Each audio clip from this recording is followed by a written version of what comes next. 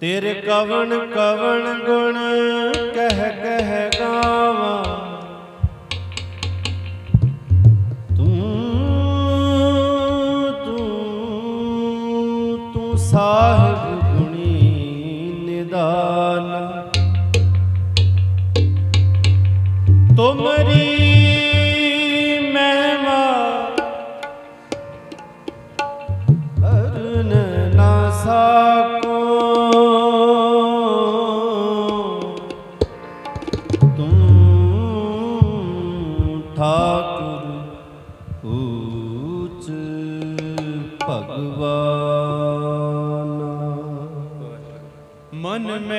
चित्तवो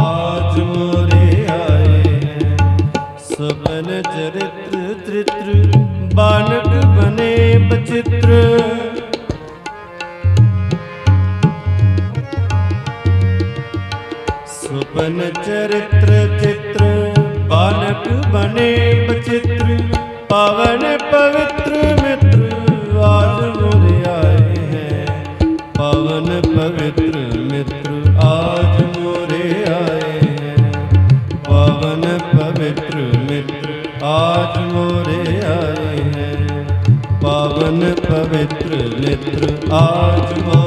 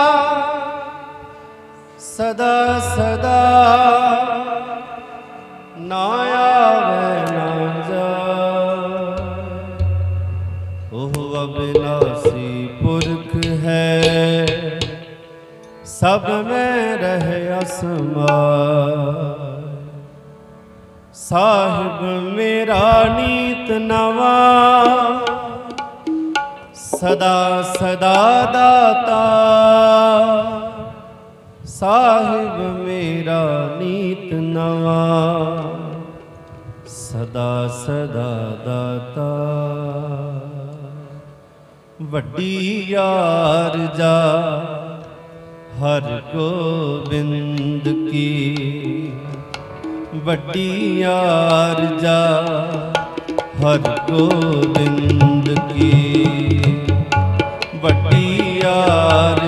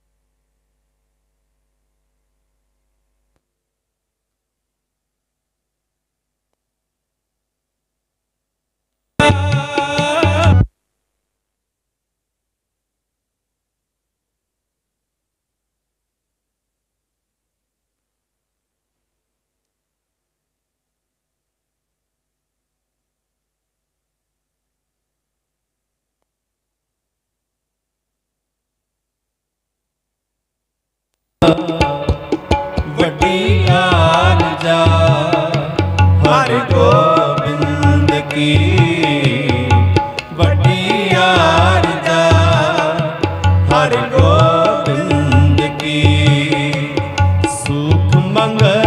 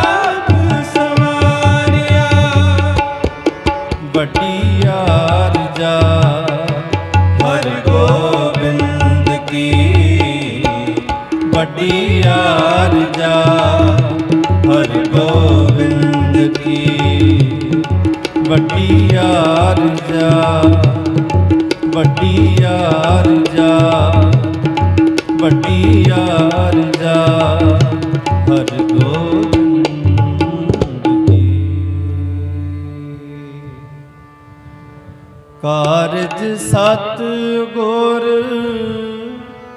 ਆਪ ਸਵਾਰਿਆ।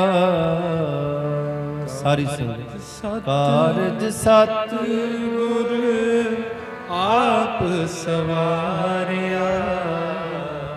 ਕਾਰਜ ਸਤ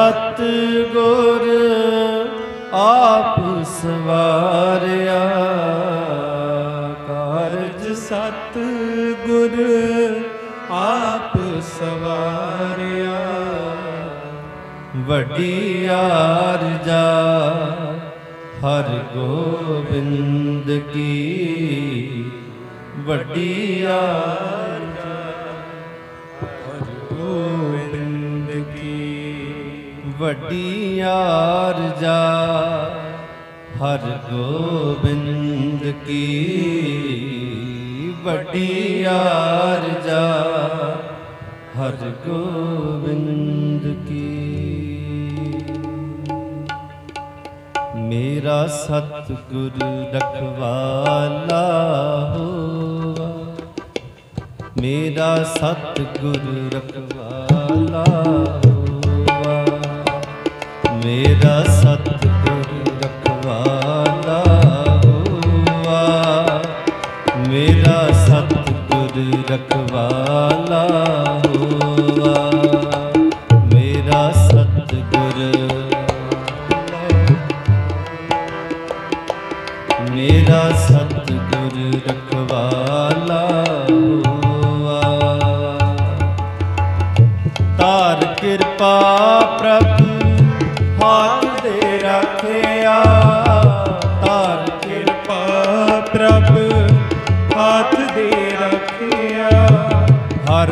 ਰੰਗ ਨਵਾਂ ਨਿਰੋਵਾ ਹਰ ਗੋਵਿੰਦ ਨਵਾਂ ਨਿਰੋਵਾ ਮੇਰਾ ਸਤਿਗੁਰ ਰਖਵਾਲਾ।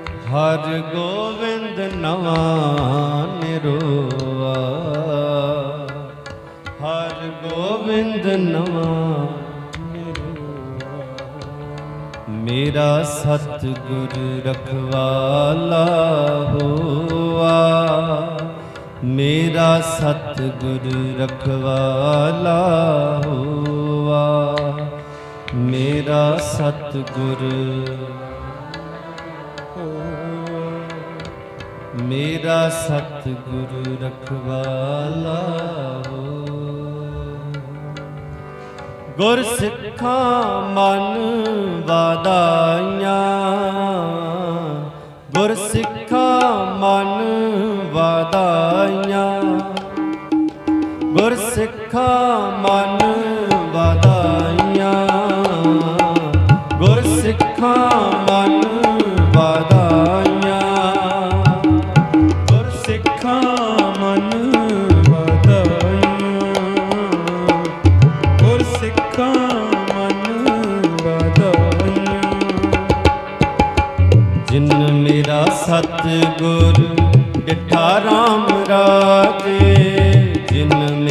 ਸਤਿਗੁਰੂ ਗੁਰੂ ਰਾਮ ਰਾ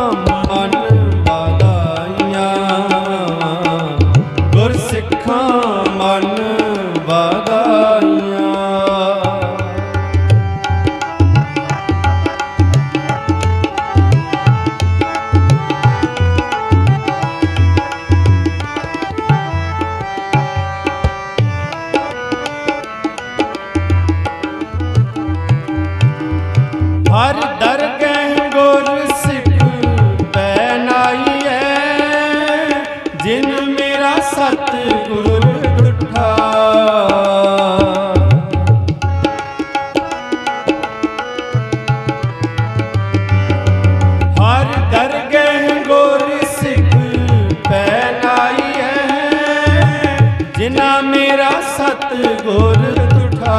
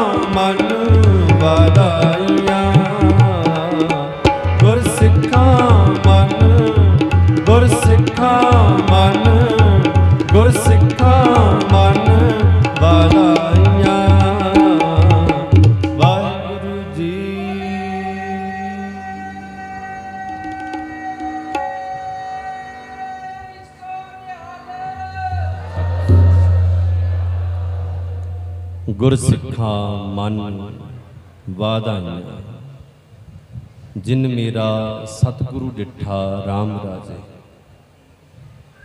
ਤਨ ਤਨ ਸ੍ਰੀ ਗੁਰੂ ਗ੍ਰੰਥ ਸਾਹਿਬ ਮਹਾਰਾਜ ਜੀ ਦੀ ਪਾਵਨ ਪਵਿੱਤਰ ਹਜ਼ੂਰੀ ਦੇ ਵਿੱਚ ਜੁੜ ਮਿਲ ਬੈਠੀ ਸਾਧ ਸੰਗਤ ਜੀਓ। ਸਭ ਤੋਂ ਪਹਿਲਾਂ ਸਤਿਗੁਰੂ ਜੀ ਤੋਂ ਅਸੀਸਾਂ ਪ੍ਰਾਪਤ ਕਰੀਏ ਝੋਲੀਆਂ ਅੱਡ ਕੇ, ਸਤਿਗੁਰਾਂ ਨੂੰ ਸੀਸ ਨਵਾਈਏ, ਹੱਥ ਜੋੜ ਕੇ, ਗੱਜ ਕੇ ਆਖੋ, ਵਾਹਿਗੁਰੂ ਜੀ ਕਾ ਖਾਲਸਾ, ਵਾਹਿਗੁਰੂ ਜੀ ਕੀ ਫਤਿਹ। ਗੁਰਬਾਣੀ ਤਨਾ ਗੁਰਸਿੱਖਾਂ ਭਾਉ ਭਗਤ ਗੁਰਪੁਰਬ ਕਰਨ ਦੇ। ਭਾਈ ਗੁਰਦਾਸ ਜੀ ਕਹਿੰਦੇ ਹਨ ਕਿ ਧੰਤਾ ਦੇ ਯੋਗ ਹਨ ਉਹ ਗੁਰਸਿੱਖ। ਭਾਵਨਾ ਦੇ ਸਹਿਤ ਹੋ ਕਰਕੇ, ਪ੍ਰੇਮਾ ਭਗਤੀ ਦੇ ਸਹਿਤ ਹੋ ਕਰਕੇ ਗੁਰੂ ਦਾ ਪੁਰਬ ਕਰਦੇ ਹਨ। ਮਨਾਉਂਦੇ ਨਹੀਂ। ਮਨਾਉਣ ਵਾਲੇ ਸਿਰਫ ਤੇ ਸਿਰਫ ਬੱਧਾ ਚੱਟੀ ਕਰਕੇ ਬੈਠਦੇ ਹਨ ਕਿ ਮਨਾਉਣਾ ਹੈ। ਜਿਹੜੇ ਗੁਰਪੁਰਬ ਕਰਦੇ ਹਨ ਤੇ ਉਹਨਾਂ ਦੇ ਅੰਦਰ ਸਾਰਾ ਸਾਲ ਚਾਹ ਹੁੰਦਾ ਕਿ ਗੁਰੂ ਦਾ ਪੁਰਬ ਆਉਣਾ ਹੈ ਤੇ ਮੈਂ ਕਿਵੇਂ ਮਨਾਉਣਾ। ਜਿਹਨੇ ਮਨਾਉਣਾ ਹੁੰਦਾ ਹੈ, ਉਹਨੂੰ ਉਦੋਂ ਹੀ ਚੇਤਾ ਆਉਂਦਾ ਸਾਲ ਬਾਅਦ ਉਹ ਗੁਰਪੁਰਬ ਆ ਗਿਆ ਬਈ। ਕਿਤੇ ਗੁਰਦੁਆਰੇ ਵੀ ਜਾਣਾ, ਸਮਾਂ ਮਿਲ ਗਿਆ, ਠੀਕ ਹੈ, ਨਹੀਂ ਤੇ ਨਾ ਸੀ ਪਰ ਆਪ ਜੀ ਬਹੁਤ ਹੀ ਵੱਡਿਆਂ ਭਾਗਾਂ ਵਾਲੇ ਨੂੰ ਗੁਰਬਾਣੀ ਕਹਿੰਦੀ ਹੈ ਵੱਡ ਭਾਗੀ ਹਰ ਸੰਗਤ ਪਾਵੇ। ਵੱਡਿਆਂ ਭਾਗਾਂ ਵਾਲਾ ਸੰਗਤ ਪ੍ਰਾਪਤ ਕਰਦਾ ਹੈ, ਮਾੜੀ ਮੋਟੀ ਚੀਜ਼ ਨਹੀਂ ਹੈ।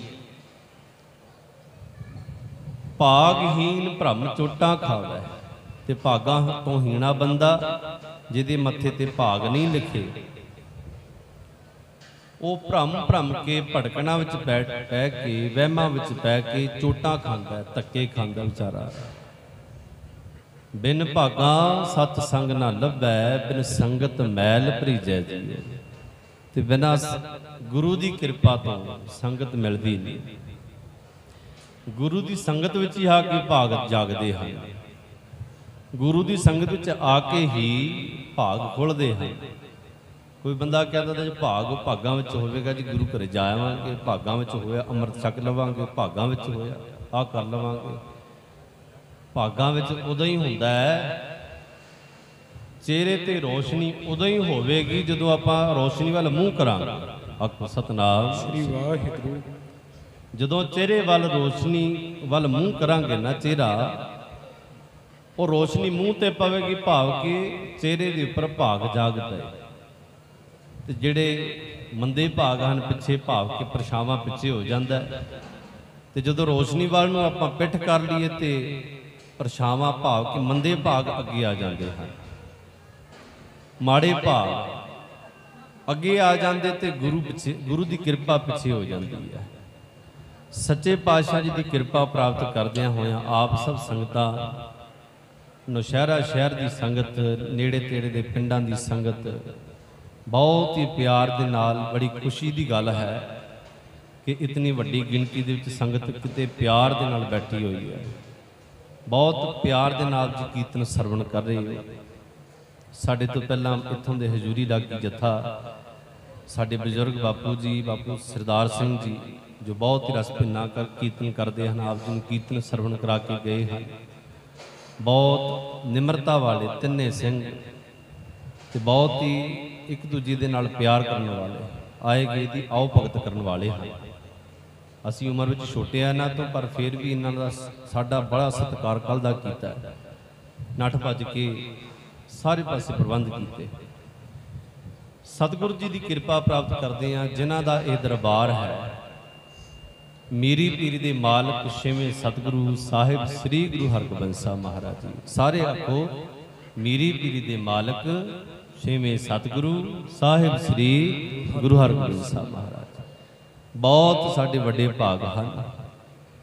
ਤਕਰੀਬਨ ਅੰਮ੍ਰਿਤਸਰ ਇਥੋਂ 350 400 ਕਿਲੋਮੀਟਰ ਹੈ, ਜਿੱਥੇ ਸਤਿਗੁਰੂ ਜੀ ਦਾ ਮੇਨ ਘਰ ਸੀ।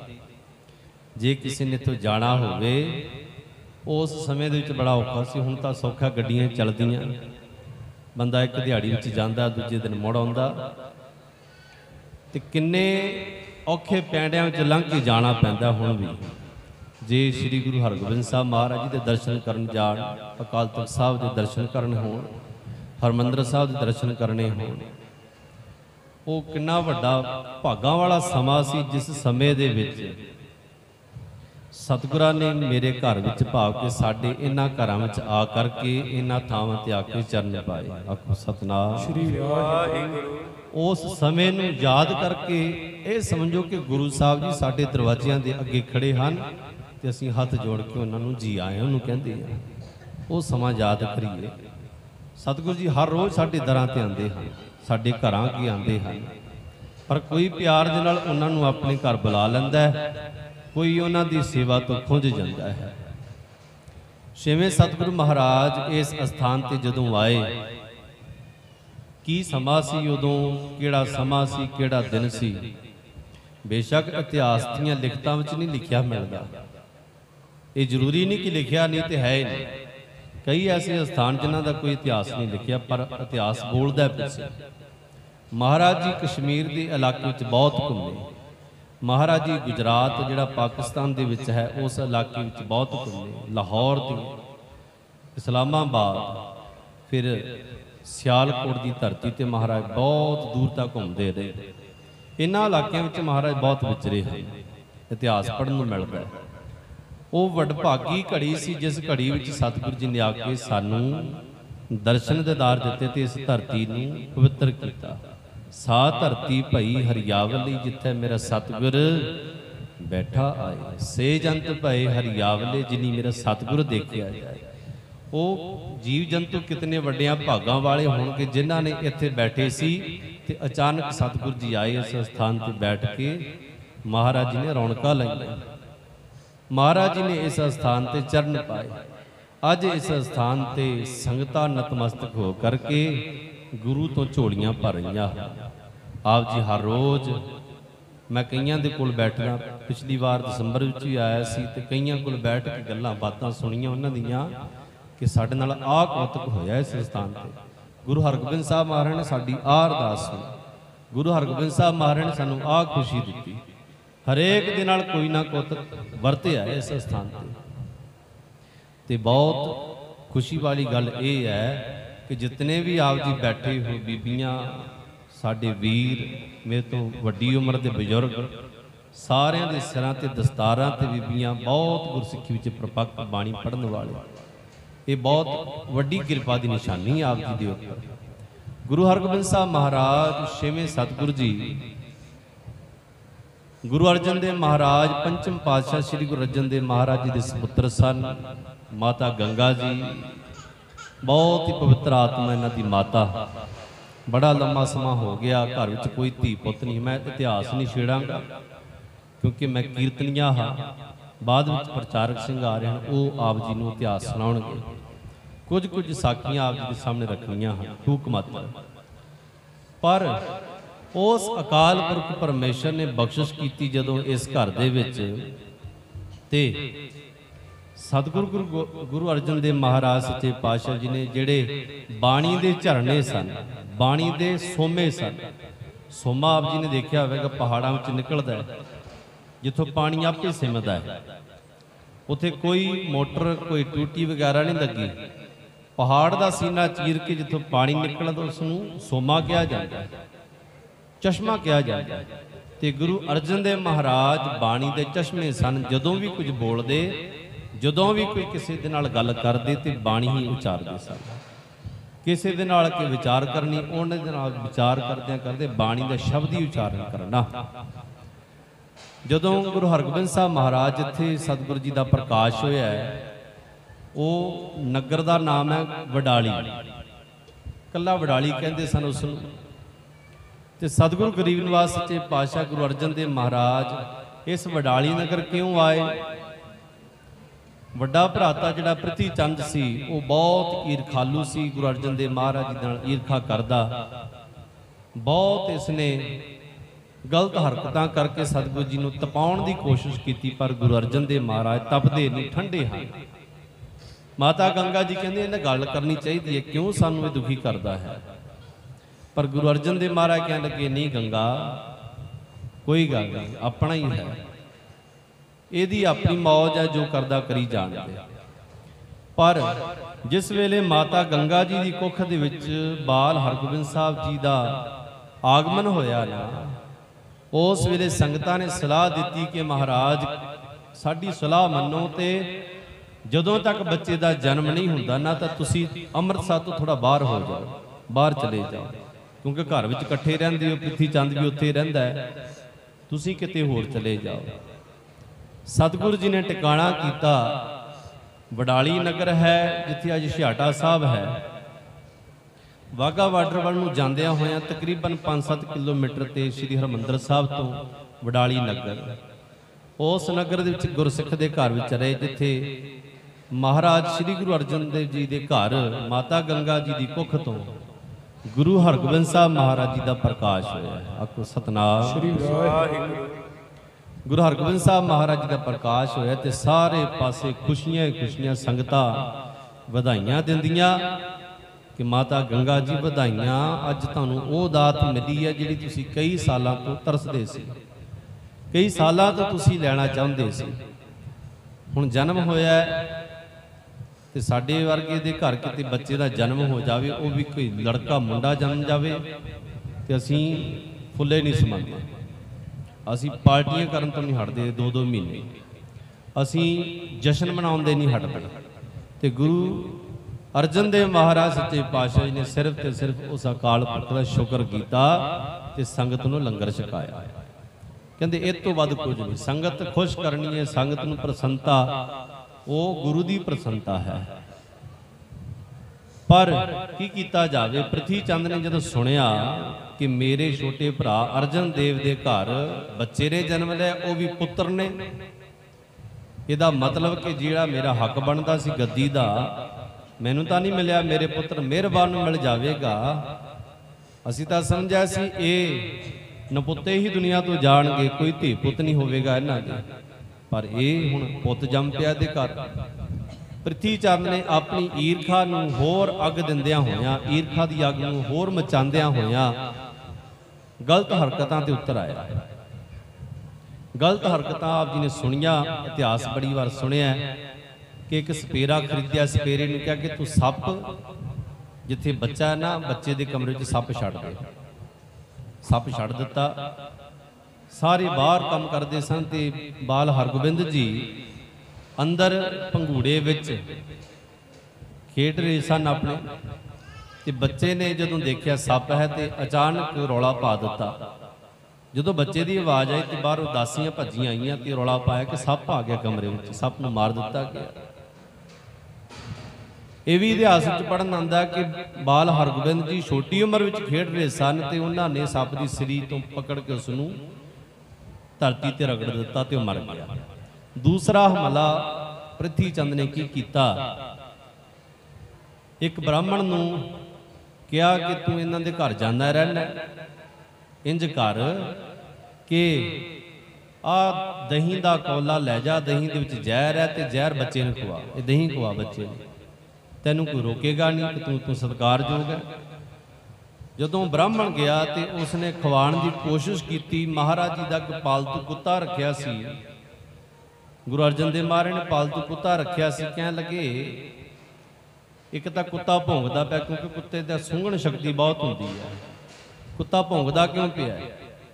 ਦੂਸਰੇ, ਇਹ ਬੱਚੇ ਨੂੰ ਜ਼ਬਰਦਸਤੀ ਦਹੀਂ ਖਵਾਉਣਾ ਚਾਹੁੰਦਾ ਦਹੀਂ ਖਾਂਦਾ ਨਹੀਂ ਪਿਆ। ਕੀ ਗੱਲ ਹੈ? ਤੇ ਜਦੋਂ ਸਤਿਗੁਰੂ ਜੀ ਨੇ ਦੇਖਿਆ ਕਿ ਦਹੀਂ ਖਵਾਉਣ ਦੀ ਕੋਸ਼ਿਸ਼ ਕੀਤੀ ਜਾ ਰਹੀ ਹੈ ਤੇ ਸਤਿਗੁਰੂ ਜੀ ਨੇ ਉਹ ਦਹੀਂ ਦਾ ਕੌਲਾ ਉਸ ਕੁੱਤੇ ਦੇ ਅੱਗੇ ਰੱਖ ਦਿੱਤਾ ਤੇ ਕੁੱਤੇ ਨੂੰ ਕਿਹਾ "ਇਹ ਛਕ ਲੈ ਤੇ ਤੈਨੂੰ ਜੀਵਨ ਮੁਕਤੀ ਮਿਲ ਜਾਵੇਗੀ। ਅੰਦਰੋਂ ਅੰਦਰ ਹੀ ਗੱਲਾਂ ਹੋਈਆਂ ਤੇ ਕੁੱਤੇ ਨੇ ਦਹੀਂ ਦੇ ਕੌਲੇ ਨੂੰ ਸਾਰੇ ਨੂੰ ਮੁਕਾ ਕਰਕੇ ਤੇ ਕੁੱਤਾ ਉੱਥੇ ਢਹਿ ਨਹੀਂ ਹੋਇਆ। ਖਤਮ ਹੋ ਗਿਆ। ਪਾਜ ਖੁੱਲ ਗਿਆ। ਚੋਰ ਪਕੜਿਆ ਗਿਆ। ਤੇ ਬ੍ਰਾਹਮਣ ਨੂੰ ਪੁੱਛਿਆ, ਤੈਨੂੰ ਕਿਹਨੇ ਭੇਜਿਆ? ਕਹਿਣ ਲੱਗੇ, ਮੈਨੂੰ ਪ੍ਰਥੀ ਚੰਦ ਨੇ ਭੇਜਿਆ। ਦੁਸ਼ਟ ਬ੍ਰਾਹਮਣ ਮੂਆ ਹੋਇ ਕੈ ਸੂਲ? ਉਸ ਬ੍ਰਾਹਮਣ ਨੂੰ ਢਿੱਡ ਵਿੱਚ, ਪੇਟ ਦੇ ਵਿੱਚ ਐਸੀ ਸੂਲ ਚੁੱਭੀ, ਐਸਾ ਦਰਦ ਹੋਇਆ ਭਿਆਨਕ ਕਿ ਉਹ ਵਿਚਾਰਾ ਉਸ ਦਰਦ ਦੇ ਨਾਲ ਹੀ ਮਰ ਗਿਆ। ਤੀਸਰੇ ਨੰਬਰ ਤੇ ਦਾਈ ਜਿਹੜੀ ਸੀ, ਬੱਚੇ ਨੂੰ ਖਿਡਾਉਣ ਵਾਲੀ, ਉਹਨੂੰ ਕਿਹਾ ਕਿ ਤੂੰ ਆਪਣੇ ਅਸਥਨਾ ਨੂੰ ਜ਼ਹਿਰ ਲਾ ਕੇ ਬੱਚੇ ਨੂੰ ਦੁੱਧ ਪਿਆਉਣ ਦੀ ਕੋਸ਼ਿਸ਼ ਕਰ। ਆਪੇ ਜ਼ਹਿਰ ਪੀ ਕੇ ਮਰ ਜਾਵੇਗਾ। ਉਸਨੇ ਕੋਸ਼ਿਸ਼ ਕੀਤੀ, ਪਰ ਗੁਰੂ ਹਰਗੋਬਿੰਦ ਸਾਹਿਬ ਜੀ ਨੇ ਬੱਚੇ ਸਨ, ਬਹੁਤ ਛੋਟੀ ਉਮਰ ਦੇ। ਤੇ ਰੌਲਾ ਪਾ ਦਿੱਤਾ ਤੇ ਉਹ ਜਿਹੜਾ ਜ਼ਹਿਰ ਸੀ ਆ, ਉਸ ਦਾਈ ਨੂੰ ਆਪ ਹੀ ਚੜ ਗਿਆ। ਅੰਦਰ ਅੰਦਰ ਸਰੀਰ ਦੇ ਵਿੱਚ ਇਨਫੈਕਸ਼ਨ ਹੋ ਗਈ ਤੇ ਮਰ ਗਈ ਇਹ ਸਾਰੀ ਖੇਡ ਦਾ ਜਦੋਂ ਪਤਾ ਲੱਗਾ ਸੰਗਤਾਂ ਨੂੰ, ਅੰਮ੍ਰਿਤਸਰ ਦੀਆਂ ਸੰਗਤਾਂ ਨੂੰ, ਤੇ ਪ੍ਰਿਥੀ ਚੰਦ ਦੀ ਬਹੁਤ ਹੀ ਬੇਇੱਜ਼ਤੀ ਹੋਈ। ਪਰ ਗੁਰੂ ਅਰਜਨ ਦੇ ਮਹਾਰਾਜ ਨੇ ਰੱਤੀ ਭਰ ਵੀ ਸ਼ਿਕਵਾ ਨਹੀਂ ਕੀਤਾ, ਰੱਤੀ ਭਰ ਵੀ ਅਲਾਮਾ ਲੈ ਕੇ ਨਹੀਂ ਕਿ ਪ੍ਰਥੀ ਚੰਦਾ ਕੀ ਕੀਤਾ ਤੂੰ? ਪਰ ਪ੍ਰਥੀ ਚੰਦ ਅੰਮ੍ਰਿਤਸਰ ਛੱਡ ਕੇ ਚਲਾ ਗਿਆ, ਨਿਕਲ ਗਿਆ ਉੱਥੋਂ। ਸਤਿਗੁਰੂ ਜੀ ਆਪਣੇ ਘਰ ਵਿੱਚ ਆਏ, ਵਾਪਸ ਅੰਮ੍ਰਿਤਸਰ ਦੇ ਵਿੱਚ ਤੇ ਉੱਥੇ ਵੀ ਮਹਾਰਾਜ ਨੇ ਸ਼ਬਦੀ ਉਚਾਰਨ ਕੀਤਾ, ਕਿਹੜਾ? ਗੁਰਪੂਰੈ ਕਿਰਪਾ ਧਾਰੀ, ਪ੍ਰਭ ਪੂਰੀ ਲੋਚ ਹਮਾਰੀ, ਕਰ ਇਸ਼ਨਾਨ ਗ੍ਰਹਿ ਆਏ ਆਨੰਦ ਮੰਗਲ ਸੁਖ ਪਾਏ। ਸੰਗਤ ਜੀ, ਸਾਡੀ ਜਿਹੜੀ ਲੋਚ ਸੀ ਨਾ, ਸਾਡੀ ਜਿਹੜੀ ਮੰਗ ਸੀ, ਪੁੱਤਰ ਦੀ ਦਾਤ ਮਿਲ ਜਾਵੇ ਕਿਤੇ ਤੇ ਉਹ ਗੁਰੂ ਨੇ ਮੇਰੇ ਪਰਮੇਸ਼ਰ ਨੇ ਦਿੱਤੀ ਹੈ। ਮੇਰੀ ਝੋਲੀ ਵਿੱਚ ਪੁੱਤਰ ਦਾਤ ਪਾਈ ਹੈ। ਤੀਸਰੇ ਨੰਬਰ ਤੇ ਸਾਡੀ ਮਨਸ਼ਾ ਸੀ, ਸਾਡੀ ਮੰਗ ਸੀ ਕਿ ਜਿਹੜਾ ਗੁਰੂ ਗ੍ਰੰਥ ਸਾਹਿਬ ਮਹਾਰਾਜ ਦਾ ਸਰੂਪ ਲਿਖਣਾ ਅਸੀਂ ਲਿਖ ਦਿੱਤਾ। ਹਰਮੰਦਰ ਸਾਹਿਬ ਬਣਾਉਣਾ ਸੀ, ਉਹ ਬਣਾ ਦਿੱਤਾ। ਇਹ ਗੁਰੂ ਨੇ ਕਿਰਪਾ ਕਰਕੇ ਸਾਡੇ ਤੋਂ ਸੇਵਾ ਲਈ ਹੈ। ਮੇਰੀ ਲੋਚ ਸੀ। ਮੇਰੀ ਮੰਗ ਸੀ ਅੰਦਰ ਮਨ ਦੀ। ਕਰ ਇਸਨਾਨ ਗ੍ਰਹਿ ਆਏ, ਆਨੰਦ ਮੰਗਲ ਸੁਖ ਪਾਏ। ਸੰਗਤਾਂ ਕਹਿਣ ਲੱਗੀਆਂ, ਸਤਿਗੁਰੂ ਜੀ, ਅਸੀਂ ਸੁਣਿਆ, ਪ੍ਰਥੀ ਚੰਦ ਨੇ ਬਹੁਤ ਗਲਤ ਕਰਤੂਤਾਂ ਕੀਤੀਆਂ। ਬੱਚੇ ਨੂੰ ਮਰਵਾਉਣ ਦੀ ਕੋਸ਼ਿਸ਼ ਕੀਤੀ। ਕਹਿ ਸਤਿਗੁਰ ਕਹਿਣ ਲੱਗੇ, ਕੋਈ ਗੱਲ ਨਹੀਂ। ਜੋ ਉਹ ਕਰਦਾ, ਠੀਕ ਹੈ, ਉਹਦੀ ਮੌਜ ਹੈ। ਪਰ ਰੱਖਣ ਵਾਲਾ ਤਾਂ ਵੱਡਾ ਨਾ ਉਤੋਂ ਰੱਖਣ ਵਾਲਾ ਬਲਵਾਨ ਹੈ। ਤੇ ਮਹਾਰਾਜ ਨੇ ਸ਼ਬਦ ਉਚਾਰਨ ਕੀਤਾ ਮੇਰਾ ਸਤਿਗੁਰ ਰਖਵਾਲਾ ਹੋਆ। ਮੇਰਾ ਸਤਿਗੁਰ ਰਖਵਾਲਾ ਹੋਆ। ਮੇਰਾ ਸਤਿਗੁਰ ਮੇਰਾ ਸਤਿਗੁਰ ਰਖਵਾਲਾ ਹੋਆ। ਉਸ ਅਕਾਲ ਪੁਰਖ ਨੇ ਕਿਰਪਾ ਧਾਰਨ ਕਰਕੇ ਹੱਥ ਦੇ ਕੇ ਰੱਖਿਆ ਮੇਰੇ ਬੱਚੇ ਨੂੰ ਆ ਦੇਖੋ ਤੁਹਾਡੇ ਸਾਹਮਣੇ। ਮੇਰਾ ਕਿੰਨਾ ਸੁੰਦਰ, ਪਿਆਰਾ ਬੱਚਾ, ਨਵਾਂ ਨਰਵਾ ਠੀਕ ਠਾਕ ਹੈ ਕੁਝ ਵੀ ਨਹੀਂ ਹੋਇਆ ਇਸ ਨੂੰ, ਕਿਉਂਕਿ ਰੱਖਣ ਵਾਲਾ ਵੱਡਾ ਹੈ। ਮਾਰਨ ਵਾਲੇ ਤੋਂ ਰੱਖਣ ਵਾਲਾ ਵੱਡਾ ਹੈ। ਜਿਸ ਦਾ ਸਾਹਿਬ ਡਾਢਾ ਹੋਏ ਤਿਸ ਨੂੰ ਮਾਰ ਨਾ ਸਕੈ, ਕੋਈ ਗੁਰੂ ਅਮਰਦਾਸ ਮਹਾਰਾਜ ਕਹਿੰਦੇ। ਜਿਹਨੂੰ ਰੱਖਣ ਵਾਲਾ ਉਹ ਮਾਲ- ਮਾਲਕ ਪਰਮੇਸ਼ਰ ਹੋਵੇ, ਉਹਨੂੰ ਕੌਣ ਮਾਰ ਸਕਦਾ ਹੈ? ਸਤਿਗੁਰੂ ਜੀ ਨੇ ਹਰ ਵੇਲੇ ਉਸ ਪਰਮੇਸ਼ਰ ਦਾ ਸ਼ੁਕਰ ਕੀਤਾ। ਹਰ ਵੇਲੇ ਉਹਦੇ ਗੁਣ ਗਾਉਂਦਿਆਂ ਹੀ ਮਹਾਰਾਜ ਨੇ ਸ਼ਬਦ ਉਚਾਰਨ ਕੀਤੇ। ਆਓ, ਭਾਈ ਸਾਹਿਬ, ਭਾਈ ਗੁਰਦਾਸ ਜੀ, ਸ੍ਰੀ ਗੁਰੂ ਹਰਗੋਬਿੰਦ ਸਾਹਿਬ ਮਹਾਰਾਜ ਦੀ ਸਿਫਤ ਕਰਦੇ ਆ ਉਸਤਤ ਕਰਦੇ ਆ ਕਿਹੜਾ ਉਹਨਾਂ ਨੇ ਸ਼ਬਦ ਉਚਾਰਨ ਕੀਤਾ ਸੀ? ਆਓ, ਸਰਵਣ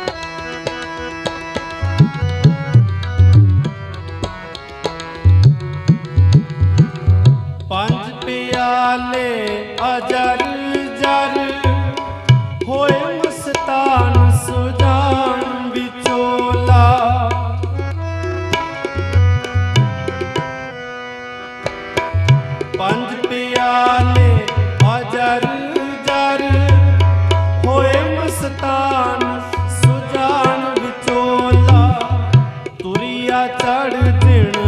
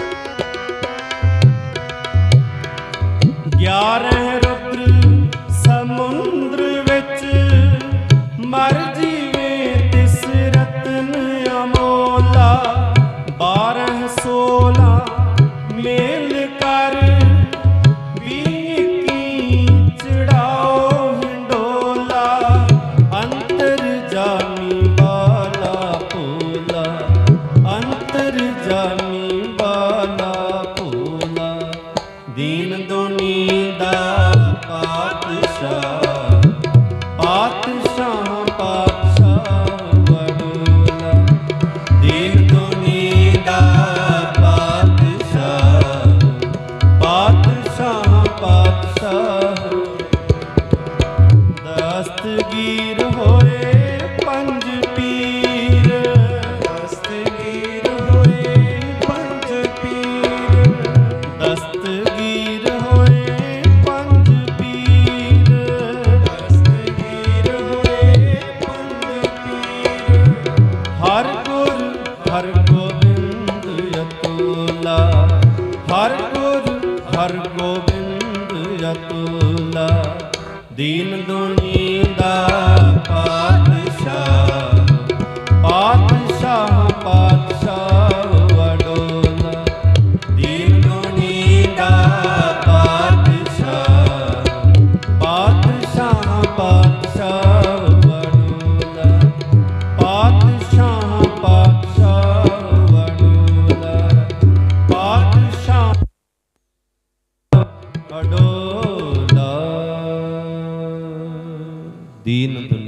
ਪਾਤਸ਼ਾਹ।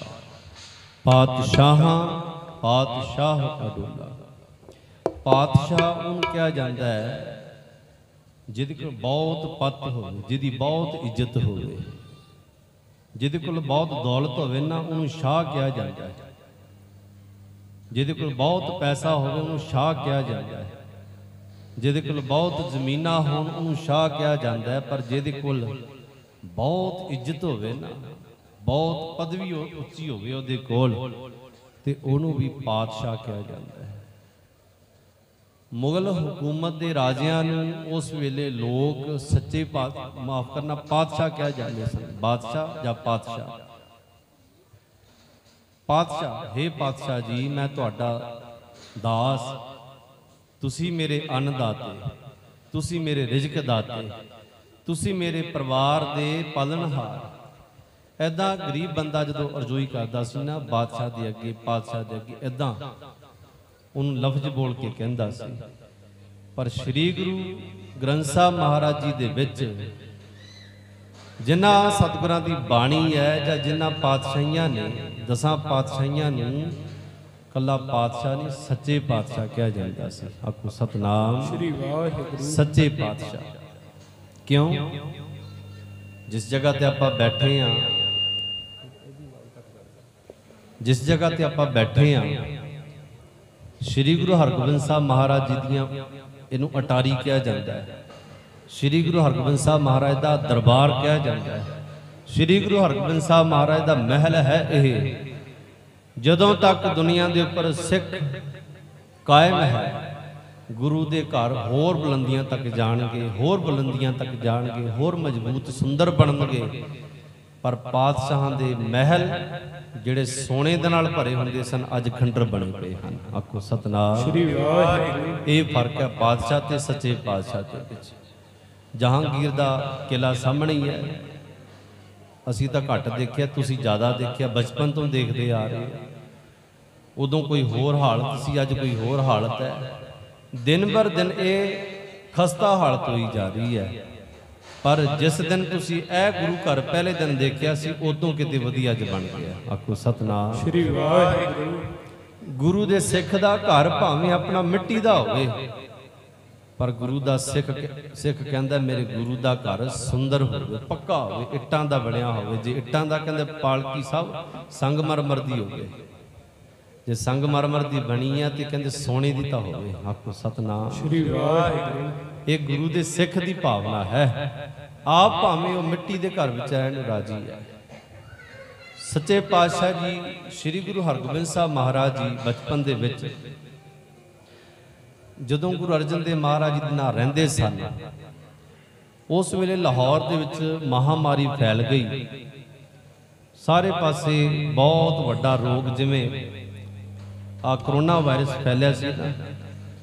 ਸ਼ਹਿਰਾਂ ਸ਼ਹਿਰਾਂ ਵਿੱਚ, ਪਿੰਡਾਂ ਪਿੰਡਾਂ ਵਿੱਚ ਹਰੇਕ ਹਸਪੀਟਲ ਮਰੀਜ਼ਾਂ ਦੇ ਨਾਲ, ਹਰੇਕ ਹਸਪੀਟਲ ਵਿੱਚ ਲਾਸ਼ਾਂ ਹੀ ਲਾਸ਼ਾਂ। ਇਦਾਂ ਹੀ ਉਸ ਵੇਲੇ ਮਹਾਮਾਰੀ ਫੈਲ ਗਈ। ਗੁਰੂ ਅਰਜਨ ਦੇਵ ਮਹਾਰਾਜ ਆਪਣੇ ਸਿੱਖਾਂ ਨੂੰ ਨਾਲ ਲੈ ਕੇ, ਸੰਗਤ ਨੂੰ ਨਾਲ ਲੈ ਕੇ ਸ੍ਰੀ ਹਰਮੰਦਰ ਸਾਹਿਬ ਤੋਂ ਗਏ। ਲਾਹੌਰ ਵਿੱਚ ਜਾ ਕੇ ਮਰੀਜ਼ਾਂ ਦਾ ਇਲਾਜ ਕਰਨ ਵਾਸਤੇ। ਜਿਹੜੇ ਵਿਚਾਰੇ ਸਰੀਰ ਛੱਡ ਗਏ ਸਨ, ਉਹਨਾਂ ਦੀ ਦੇਖ, ਉਹਨਾਂ ਦੇ ਸਰੀਰਾਂ ਦਾ ਸੰਸਕਾਰ ਕੀਤਾ ਗੁਰੂ ਦੇ ਖਜ਼ਾਨੇ ਦੇ ਵਿੱਚ, ਗੁਰੂ ਦੀ ਗੋਲਕ ਦੇ ਵਿੱਚ। ਫਿਰ ਜਦੋਂ ਬੰਦਾ ਵਿਚਰਦਾ ਹੈ, ਬਿਮਾਰਾਂ ਦੇ ਵਿੱਚ ਬੰਦਾ ਆਪ ਵੀ ਬਿਮਾਰ ਹੋ ਜਾਂਦਾ, ਪਰ ਸਤਿਗੁਰੂ ਜੀ ਸਭ ਠੀਕ ਰਹੇ। ਉਸ ਵੇਲੇ ਬਾਲ ਹਰਗੋਬਿੰਦ ਜੀ ਵੀ ਨਾਲ ਸਨ। ਤੇ ਉਹ ਇਨਫੈਕਸ਼ਨ ਜਿਹੜੀ ਸੀ ਨਾ, ਬੱਚਿਆਂ ਤੇ ਤੇ ਬਜ਼ੁਰਗਾਂ ਤੇ ਜ਼ਿਆਦਾ ਕਰਦੀ ਹੈ। ਬੱਚੇ ਤੇ ਬਜ਼ੁਰਗ ਜ਼ਿਆਦਾ ਪ੍ਰਭਾਵਿਤ ਹੁੰਦੇ ਨੇ ਕਿਸੇ ਇਨਫੈਕਸ਼ਨ ਤੋਂ। ਬਾਲ ਹਰਗੋਬਿੰਦ ਜੀ ਥੋੜੇ ਜਿਹੇ ਪ੍ਰਭਾਵਿਤ ਹੋਏ ਤੇ ਜਦੋਂ ਆਏ ਵਾਪਸ ਆਪਣੇ ਘਰ ਤੇ ਉਹਨਾਂ ਦੇ ਸਰੀਰ ਦੇ ਉੱਪਰ ਚੇਚਕ ਦੀ ਬਿਮਾਰੀ ਜਿਹਨੂੰ ਸੀਤਲਾ ਮਾਤਾ ਵੀ ਕਿਹਾ ਜਾਂਦਾ ਹੈ। ਤੇ ਹਿੰਦੂ ਧਰਮ ਦੇ ਵਿੱਚ ਉਸ ਵੇਲੇ ਬਹੁਤ ਕਹਿੰਦੇ ਜਿਹਦੇ ਕਿਸੇ ਦੀ ਸੀਤਲਾ ਹੋ ਜਾਵੇ ਨਾ ਉਹ ਲੋਕ ਉਹਦੇ ਦਰਸ਼ਨ ਕਰਨ ਵਾਸਤੇ ਆਉਂਦੇ। ਕਹਿੰਦੇ ਸੀਤਲਾ ਮਾਤਾ ਆਈ ਹੈ। ਅੰਮ੍ਰਿਤਸਰ ਦੇ ਵਿੱਚ ਇੱਕ ਮੰਦਿਰ ਹੈ ਜਿਹਨੂੰ ਸੀਤਲਾ ਮੰਦਿਰ ਕਿਹਾ ਜਾਂਦਾ ਹੈ। ਸੀਤਲਾ ਮੰਦਿਰ। ਕਿ ਸੀਤਲਾ ਦਾ ਕੋਈ ਰੋਗੀ ਹੋਵੇ ਤੇ ਉਸ ਨੂੰ ਉੱਥੇ ਲਿਜਾ ਕੇ ਉਹਦੀ ਪੂਜਾ ਕੀਤੀ ਜਾਂਦੀ ਹੈ। ਕੁਝ ਕੁ ਆਏ ਲੋਕ ਨਗਰ ਦੇ ਅੰਮ੍ਰਿਤਸਰ ਵਾਸੀ ਗੁਰੂ ਅਰਜਨ ਦੇਵ ਮਹਾਰਾਜ ਨੂੰ ਕਹਿਣ ਲੱਗੇ ਮਹਾਰਾਜ ਅਸੀਂ ਸੁਣਿਆ ਤੁਹਾਡੇ ਘਰ ਮਾਤਾ ਆਈ ਹੈ। ਆਖੋ ਸਤਨਾਮ। ਸ੍ਰੀ ਵਾਹਿਗੁਰੂ। ਸਤਿਗੁਰੂ ਜੀ ਹੱਸ ਕੇ ਕਹਿਣ ਲੱਗੇ ਨਹੀਂ ਸਾਡੇ ਘਰ ਤਾਂ ਕੋਈ ਮਾਤਾ ਨਹੀਂ ਆਈ ਜੀ। ਸਤਿਗੁਰੂ ਨੂੰ ਪਤਾ ਸੀ ਕੀ ਕਹਿੰਦੇ ਐ ਕਹਿਣ ਲੱਗੇ ਨਹੀਂ, ਸਾਡੇ ਘਰ ਕੋਈ ਮਾਤਾ ਨਹੀਂ ਆਈ। ਜੀ ਨਹੀਂ ਜੀ, ਅਸੀਂ ਸੁਣਿਆ ਤੁਹਾਡੇ ਪੁੱਤਰ ਨੂੰ ਮਾਤਾ, ਸੀਤਲਾ ਮਾਤਾ ਨਿਕਲੀ ਹੈ, ਪ੍ਰਗਟ ਹੋਈ ਹੈ। ਕਹਿਣ ਲੱਗੇ, ਬਿਲਕੁਲ ਜੀ। ਉਹ ਚੇਚਕ ਨਿਕਲੀ, ਤੁਸੀਂ ਕੁਝ ਵੀ ਕਹੀ ਜਾਓ। ਫਿਰ ਉਹ ਕਹਿਣ ਲੱਗੇ ਜਿਹਨੂੰ ਬਿਮਾਰੀ ਨਾ ਕਹੋ ਜੀ, ਬਿਮਾਰੀ ਨਹੀਂ ਹੈ। ਇਹ ਮਾਤਾ ਦੀ ਕਿਰਪਾ ਹੋਈ ਹੈ ਤੁਹਾਡੇ ਬੱਚੇ ਤੇ, ਤੁਹਾਨੂੰ ਦਰਸ਼ਨ ਦੇਣ ਵਾਸਤੇ ਆਈ ਹੈ। ਸਤਿਗੁਰੂ ਜੀ ਕਹਿਣ ਲੱਗੇ, ਬੱਚਾ ਸਾਡਾ ਬੜੀ ਤਕਲੀਫ ਵਿੱਚ ਹੈ। ਬੁਖਾਰ ਚੜਿਆ ਰਹਿੰਦਾ ਹਰ ਵੇਲੇ।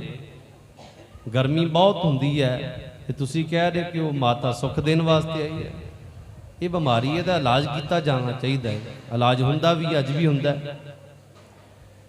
ਪਰ ਉਹ ਕਹਿਣ ਲੱਗੇ, ਜੀ ਨਹੀਂ, ਅਸੀਂ ਇਹਨੂੰ, ਬੱਚੇ ਨੂੰ ਲੈ ਜਾਵਾਂਗੇ ਤੇ ਇਹਦੀ ਪੂਜਾ ਕਰਾਂਗੇ ਤੇ ਬੱਚਾ ਆਪੇ ਠੀਕ ਹੋ ਜਾਵੇਗਾ। ਸਤਿਗੁਰ ਕਹਿਣ ਲੱਗੇ, ਬੱਚਾ ਠੀਕ ਹੋਵੇ, ਨਾ ਹੋਵੇ ਉਹ ਮਾਲਕ ਦੀ ਮੋਜ ਨਾ ਜੀ ਇਦਾਂ ਨਾ ਕੋ ਤੁਹਾਡੇ ਬੜੇ ਚਿਰ ਬਾਅਦ ਬੱਚੇ ਨੇ ਜਨਮ ਲਿਆ। ਸਤਿਗੁਰ ਕਹਿਣ ਲੱਗੇ, ਦੇਣ ਵਾਲਾ ਮਾਲਕ ਉਹ ਆਪ ਹੈ। ਇਸ ਬੱਚੇ ਦੀ ਰੱਖਿਆ ਬੜੀ ਵਾਰ ਮੇਰੇ ਮਾਲਕ ਨੇ ਕੀਤੀ ਹੈ। ਜੇ ਇਹ ਦੁੱਖ ਚੰਬੜ ਗਿਆ ਹੈ ਨਾ, ਇਸ ਦੁੱਖ ਤੋਂ ਵੀ ਮੇਰਾ ਨਿਰੰਕਾਰ ਇਸ ਨੂੰ ਬਚਾਵੇਗਾ। ਮੈਨੂੰ ਭਰੋਸਾ ਪੂਰਾ ਹੈ। ਮੈਨੂੰ ਪੂਰਾ ਭਰੋਸਾ ਕਿ ਮੇਰਾ ਨਿਰੰਕਾਰ, ਮੇਰਾ ਮਾਲਕ ਪਰਮੇਸ਼ਰ ਮੇਰੀ ਰੱਖਿਆ ਜ਼ਰੂਰ ਕਰੇਗਾ। ਕੁਝ ਨਹੀਂ ਹੁੰਦਾ ਬੱਚੇ ਨੂੰ। ਸਤਿਗੁਰੂ ਜੀ ਨੇ ਦਵਾ ਕਰਾਈ, ਦਵਾ ਭਾਵ ਕੇ ਦਵਾਈ। ਫਿਰ ਦੁਆ ਵੀ ਕਰਾਈ। ਦੁਆ ਦਾ ਅਰਥ ਹੁੰਦਾ? ਅਰਦਾਸ। ਅਰਦਾਸਾਂ ਕਰਾਈਆਂ, ਸੰਗਤ ਤੋਂ ਬਾਣੀ ਦਾ ਜਾਪ ਕਰਾਇਆ ਤੇ ਹਕੀਮਾਂ ਨੂੰ ਕਿਹਾ, ਤੁਸੀਂ ਦਵਾ ਦਾਰੂ ਕਰੋ। ਦਵਾ ਦੇ ਨਾਲ ਜੇ ਦੁਆ ਵੀ ਹੋਵੇ, ਤਾਂ ਤਾਂ ਦਵਾਈ ਛੇਤੀ ਅਸਰ ਕਰਦੀ ਹੈ।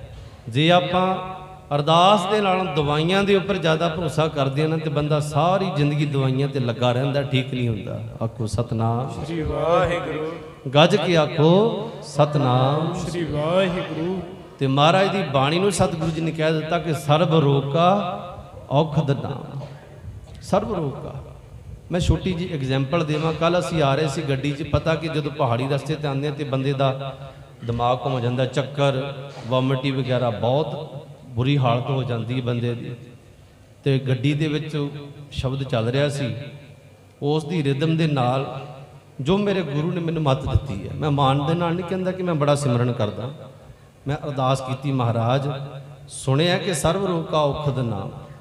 ਹਾਲਾਂਕਿ ਮੇਰੇ ਬੈਗ ਵਿੱਚ ਦਵਾਈਆਂ ਪਈਆਂ ਸਨ, ਖਾ ਸਕਦਾ ਸੀ। ਤੇ ਵਾਹਿਗੁਰੂ ਵਾਹਿਗੁਰੂ ਦਾ ਸਿਮਰਨ ਸ਼ੁਰੂ ਕੀਤਾ ਤੇ ਉਹ ਠੀਕ ਹੋ ਗਿਆ ਮਾਹੌਲ। ਆਖੋ, ਸਤਨਾਮ। ਸ੍ਰੀ ਵਾਹਿਗੁਰੂ।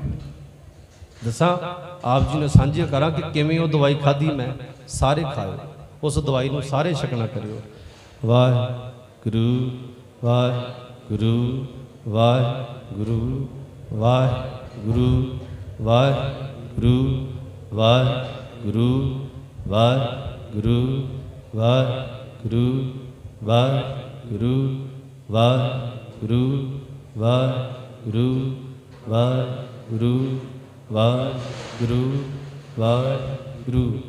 ਇਦਾਂ ਕਾਰਜ, ਕਾਮ, ਬਾਟ, ਘਾਟ ਜਪੀਜੈ। ਕਾਰਜ ਕਰਦੇ ਆ, ਬਾਟ ਭਾਗ ਕੇ ਰਸਤੇ ਵਿੱਚ ਚੱਲਦੇ ਆ। ਕਾਰਜ, ਕਾਮ, ਬਾਟ, ਘਾਟ ਜਪੀਜੈ। ਜਿੱਥੇ ਵੀ ਕੋਈ ਅਵਘਟ, ਕੋਈ ਮੁਸ਼ਕਲ ਪੈ ਗਈ ਨਾ, ਉੱਥੇ ਜਪਣਾ ਸ਼ੁਰੂ ਕਰ ਦਿਓ। ਆਪਣੇ ਆਪ ਰਸਤਾ ਖੁੱਲ ਜਾਂਦਾ ਹੈ। ਸਤਿਗੁਰੂ ਕਹਿਣ ਲੱਗੇ, ਗੁਰੂ ਅਰਜਨ ਦੇਵ ਮਹਾਰਾਜ, ਕਿ ਮੇਰਾ ਬੱਚਾ ਠੀਕ ਹੋਵੇ, ਨਾ ਠੀਕ ਹੋਵੇ, ਮੇਰੇ ਮਾਲਕ ਦੀ ਮੌਜ ਹੈ, ਪਰ ਮੈਂ ਕੋਈ ਵੀ ਉਹ ਕੰਮ ਨਹੀਂ ਕਰਨਾ ਜਿਹੜਾ ਗੁਰਮਤ ਤੋਂ ਅਨੁਕੂਲ ਨਾ ਹੋਵੇ। ਗੁਰਮਤ ਦੇ ਉਲਟ ਕੰਮ ਹੋਵੇ, ਉਹ ਕੰਮ ਨਹੀਂ ਕਰਨਾ ਮੈਂ। ਸਤਿਗੁਰੂ ਜੀ ਨੇ ਅਰਦਾਸਾਂ ਕਰਾਈਆਂ, ਬਾਣੀ ਪੜ੍ਹੀ, ਸਿਮਰਨ ਕੀਤਾ, ਦਵਾ ਦਾਰੂ ਕਰਾਇਆ ਤੇ ਸ੍ਰੀ ਗੁਰੂ ਹਰਗੋਬਿੰਦ ਸਾਹਿਬ ਮਹਾਰਾਜ ਤੰਦਰੁਸਤ ਹੋ ਗਏ ਤੇ ਸਤਿਗੁਰੂ ਜੀ ਨੇ ਉੱਥੇ ਵੀ ਸ਼ਬਦ ਹੀ ਉਚਾਰਨ ਕੀਤਾ। ਕਿਹੜਾ? ਸੀਤਲਾ ਤੇ ਰੱਖਿਆ ਬਿਹਾਰੀ। ਪਾਰ ਬ੍ਰਹਮ ਪਰ ਕਿਰਪਾ ਤਾਰੀ ਆਖੋ ਸਤਨਾਮ। ਸ੍ਰੀ ਵਾਹਿਗੁਰੂ। ਮੇਰੇ ਮਾਲਕ ਨੇ ਮੇਰੇ ਬੱਚੇ ਨੂੰ ਸੀਤਲਾ ਤੋਂ ਵੀ ਬਚਾ ਕੇ ਰੱਖ ਲਿਆ। ਐਡਾ ਵੱਡਾ ਭਰੋਸਾ। ਗੁਰੂ ਅਰਜਨ ਦੇਵ ਮਹਾਰਾਜ ਇਤਨੇ ਵੱਡੇ ਸਿਦਕ ਦੇ ਮਾਲਕ ਇਤਨੇ ਵੱਡੇ ਧੀਰਜਵਾਨ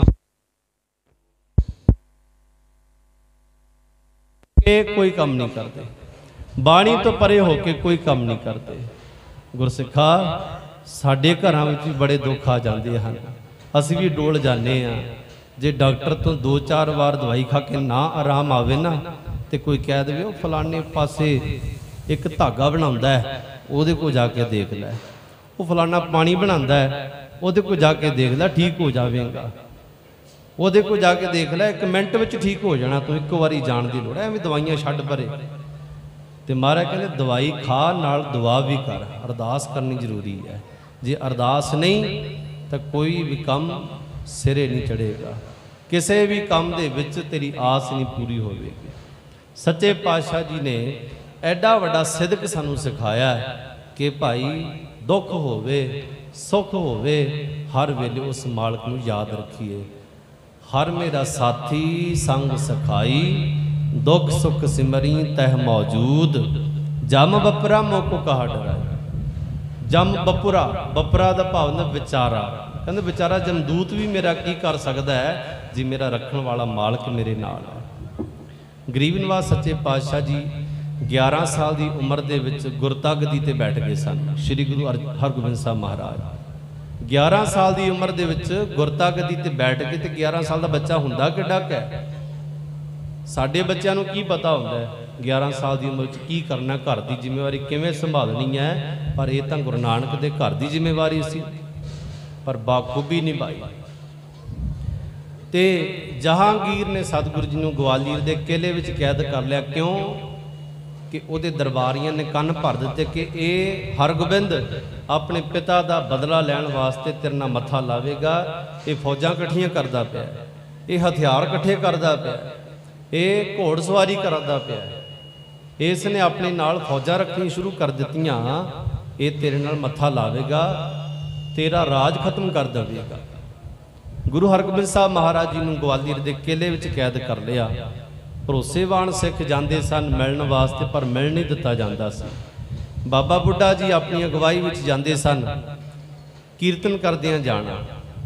ਤੇ ਫੇਰ ਵੀ ਨਹੀਂ ਅਗਵਾਈ ਕਰਨ ਵਾਲਿਆਂ ਨੂੰ ਵੀ ਸਿਆਣੇ ਪੁਰਸ਼ਾਂ ਨੂੰ ਵੀ ਮਿਲ ਨਹੀਂ ਦਿੱਤਾ ਜਾਂਦਾ ਸੀ। ਪਰ ਬਾਬਾ ਬੁੱਢਾ ਜੀ ਨੇ ਕੀ ਕਰਨਾ? ਕਿਲੇ ਦੀ ਪ੍ਰਕਰਮਾ ਕਰਕੇ ਕਿਲੇ ਨੂੰ ਮੱਥਾ ਟੇਕ ਕੇ ਆ ਜਾਣਾ।